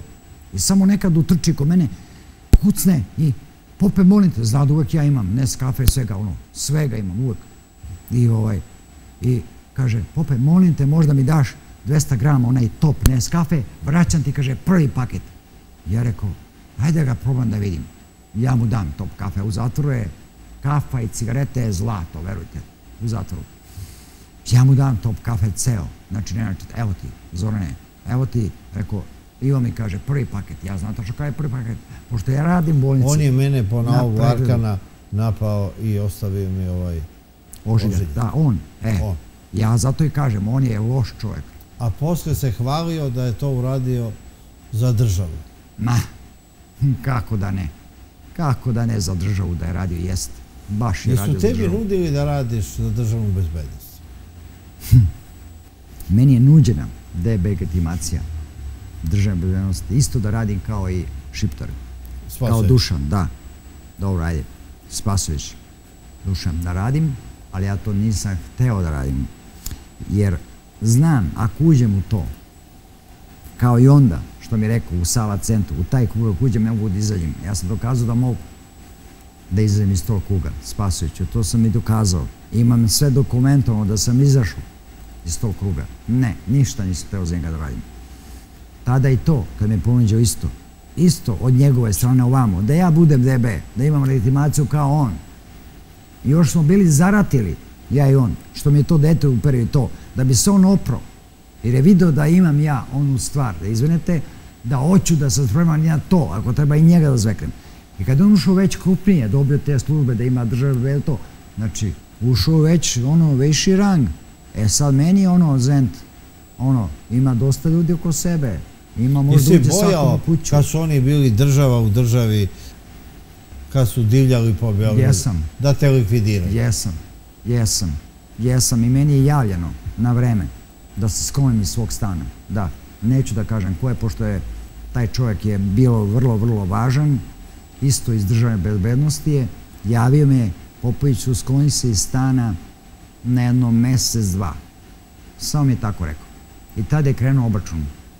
Znači, to je bačena koska, što kažu. Mislim, oni jesu bili opasni, ali iskorišćeni. Samo iskorišćeni. Što bi policija prljala ruke? Zašto? Imaju tako ti indijanci koji to rade. Dali legitimacije i oni su mislili da su oni bogi matina. Ne, nisu. Nisu. Jesu se i ja sam se bojao tada, kad su to dobili. Ali nisam teo da uzmem legitimaciju njih. Ne. Meni to ne treba. Šta će meni to? Da ja budem, da budem policajac, budemo, ne, ne, ne. Ja sam uvek samostalno radio. Nikad nisam hteo to da uzmem legitimaciju. Nikada nisam pristao na njihovo ništa. Uvek sam bio Vuk Savotnjak. da, tako me nekad neko i nazove, ali to je to. Vuk Samotnjak. Ali ovaj... Si probao sve u životu? Pa, nisam sve, ali nisam sve probao, ono, nisam bio na nekom, neko, nekoj, na Marsu, recimo, otko znam, nisam sve probao u životu, ali ovaj... Jesi se drogirao? Jesam. Kad si Sve sam probao. Uh, Sve sam probao i travu i skang i kokain. Ja sam i kokain koristio jedno vreme i jao, jao, jao. Kad sam vidio mi krv kreće iz nosa, tad sam stao. Tad sam stao. To vas vuče Mariću na propast. Pucaju kapilari u nosu. E, tad sam udario kočicu, rekao, stani, pope, gde si krenuo, polako. Ja sam došao do toga da sam morao na 20 minuta da uzimam. Meni ovako ode 10 grama za jedan dan. 10 grama ode na kokainu. Pa probam, stanem s kokainom. Pa da bi se spustio, kaže, uzmi, kaže, heroin da bi se spustio sa, kokaina na heroin. Je, ajde, rekao, ajde probam i to da vidim. Da bi bilo lakše, da, pre, da grmim tu krizu, da pregrmim krizu. Ajde, ja probam da špakim heroin, ajde. Ajde malo, vidim, čisto je, dobro je, znaš, ono, razumem su to kalizine, ja znam tačno šta je. Ovaj, I znam šta je kokain, kada držim među prstima ovako, držim ga malo, samo ovako, ne moram lizem, držim ga, otvorim i ako nema ništa ovako, to je kristal čist, kristal, čist kokain. Može se ako hoćete. To je to. I ovaj, i rekao, ajde, uzmem heroin, probam, vidim, bolje mi je. Znači, nije mi ta kriza ta od kokaina. Znači, heroinska kriza, ovaj, mnogo je teža i ova je teška, isto, a i ova još gora. Ja idem na heroin, prelazi da bi se skinuo s kokaina, prelazi na heroin. I ovaj, jedno vreme koristim heroin. Šmrčem, šmrčem, šmrčem, pomalo, pomalo sve i sve pa više, više. I kad sam video, osjetio da ono jednog dana nisam uzeo, zaboravim, ono nisam ni uzeo. I vidim ja, ne mogu da ustanem, nije mi dobro. Nešto se nije, ne osjećam, nije mi u redu nešto, šta se dešava. Bole me noge, bole me sve živo. Ja tada osjetim da u stvari sam ja u krizi. Slično je ne kao s kokaina, ali sa heroina, znači ja sam već ušao, ovo mnogo je bilo čist heroin, mnogo je bio čist. Znači ja sam, nije 100% čist, ali recimo nekih 70% bio čist. Ja sam taj heroin koristio, nisam znao da ga ja miksujem, da znam da bi uzimao. I ovaj, da bi koristio. Jer tako sam i dobio, ja tako ga uzimao. Bože mi rekao, vidi, ja se naučio za neko koliko vremena, vrlo kratko vremena, ja sam naučio heroin. Šta sad radim? E onda sam išao u Drajzeru da se skinem s heroina. Prijavio sam se sam. Otišao. I majka išla sa mnom da bude pratioc prvi put. Rekao, ja hoću da idem da se skinem s ovoga. Neću privatno, neću ovako, neću ovako. Idem baš u državnu. Hoću. Neka ne registruje kao nakrona, baš im briga. Hoću da se skinem sa svega. Ne želim, neću. I odem u Drajzeru. Jedna doktorka Sarajlija, vrlo, vrlo je dobra. Sarajlija, da ovaj, ona me uspela i svaka je čast. Psiholog, pedagog, ona je sve, sve, sve. Ona je meni s njenom pričom i sa njenim radom uspela da me skine s heroina. Da, Saralija, ona me je skinula s heroina i uspela je. Bio sam nekoliko puta u Drajzerovoj. Vratim se ponovo. Izađem, pa se vratim. Pa me vuče ponovo žuto. Joj, jednom uzeo, opet trči u Drajzerovu, rekao, i kažem doktorki, rekao, doktorki, ja sam uzeo. Koliko? Rekao, toliko. Ma nije strašno, kaže, ne možeš da ideš u bolnici. Kaže, ali ako hoćeš ti možeš da budeš, eto, bar sedam dana. Rekao, pa ajde budem sedam dana, samo da nije društvo oko mene, jer oni svi to koriste. Ja kad vidim to i onda povuku i mene u to. Jer sam jedno vreme bio ono, kako da kažem, povodljiv, ono. Znaš ono, vidim ono, ajde probam i ja to. Šta si uradio pod dejstvom kokaina? Nisam radio ništa pod dejstvom kokaina. Ja kako sam išao na moje vale, na Viler sam radio, bio sam čist suza. Čist suza. Znači, razmišljao sam, što kažu, 200-300 na sat. Tako se razmišljao. U svakoj sekundi sam znao kad ko izlazi, gde ko, kada, ide u školu, kad se vraća. Znači, ja to moram da znam. Zato ne sam koristim nikakvu substancu, osim cigarete, normalno. Ništa više. Evo, i dan danas, evo sada, ja sebi sam odredio 10 cigara dnevno. Koliko je traja tvoja borba protiv droga? Uh, sa kokaina sam ja to rešio samostalno sam uz pomoć tog heroina, a i to isto loše. Mislim, ajde, to me šilja jedan što je u Švedskoj, Švajcarskoj u stvari, odgovara za terorizam, da. Miroslav se zove, on je iz Bokova tamo. Tu je pao za terorizam, da. Kakav terorizam? Pometo je spozije polici, digu ih vazduh i na način na koji isto pometu vozi u Nemačkoj, niste način. I tako su ga provali. Iz boka je da 62, 63, nema pojma, tu je negdje, tu je taj. Ovaj, on me nauka na to, na žutu, donesi mi čisto. Od Kolumbije, stigo iz Kolumbije. E, pa tako dobio i moj prijatelj isto. Imali smo jednog Albanca koji je pristajao na preko putem pošte da ide na njegovo ime i prezime. Sve normalno, paket ko paket. I tako je stizalo. I na kraju policija sazna kako stiže, ali piše njegovo ime i prezime. I šta se dešava? Njega privedu. I mi znamo da on ne sve da ucinkari, da namesti. Ne sme. Jednog dana samo javljaju da se on obesio unutra u toj ćeli pritvorskoj jedinici. Dok je bio na informnom razgovoru, da se obesio. E sad, da li je sam ili to, a ja mislim da je sam obesio se, jer nije smeo da kaže za koga je to namenjeno. Ne znam i ja. Kako gledaš na svoj život? Pa ne znam, ja sam optimista, gledam ono, šta ja znam, pozitivno. Razmišljam tako uvek. Samo pozitiva, nikako negativa. Nije dobro. Znači, vidite sami sad danas kakav je stanje, ja se pazim i čuvam u ovom stanu je, što kažu neki ko u apoteci. Sada sam sam. U istoj zgradi imam dva stana. Nebitno to. Ja sam sam. Imam sad u stvari, da, verenicu, zove se Indira. Evo, skoro sam verio, kupio sam prsten za baš briljantom. Kupio sam u Zemunu ovdje zatara, ne znam kako se zove. Šta si ti radio u životu? Zna. Sve sam rekao. Sve. Nisam baš bukvalno sve ali zna nekih možda 60, da kažem, posto. Dovoljno? Dovoljno, za početak, pošto je verenica. A vidjet ćemo da će biti svadba. To ću još ja da razmislim. Bito sam uzao taj prsten što za njoj oboža. Ona ima dvoje dece, to da vam kažem. Ona ima dvoje dece.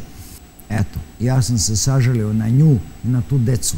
Ja nju volim. I tu decu volim isto kao da su moja. Jer ja sam isto imao očuha. Voleo me kao svog da sam mu ja sin. E, zato sam video i pronašao nju. Ona je poštena.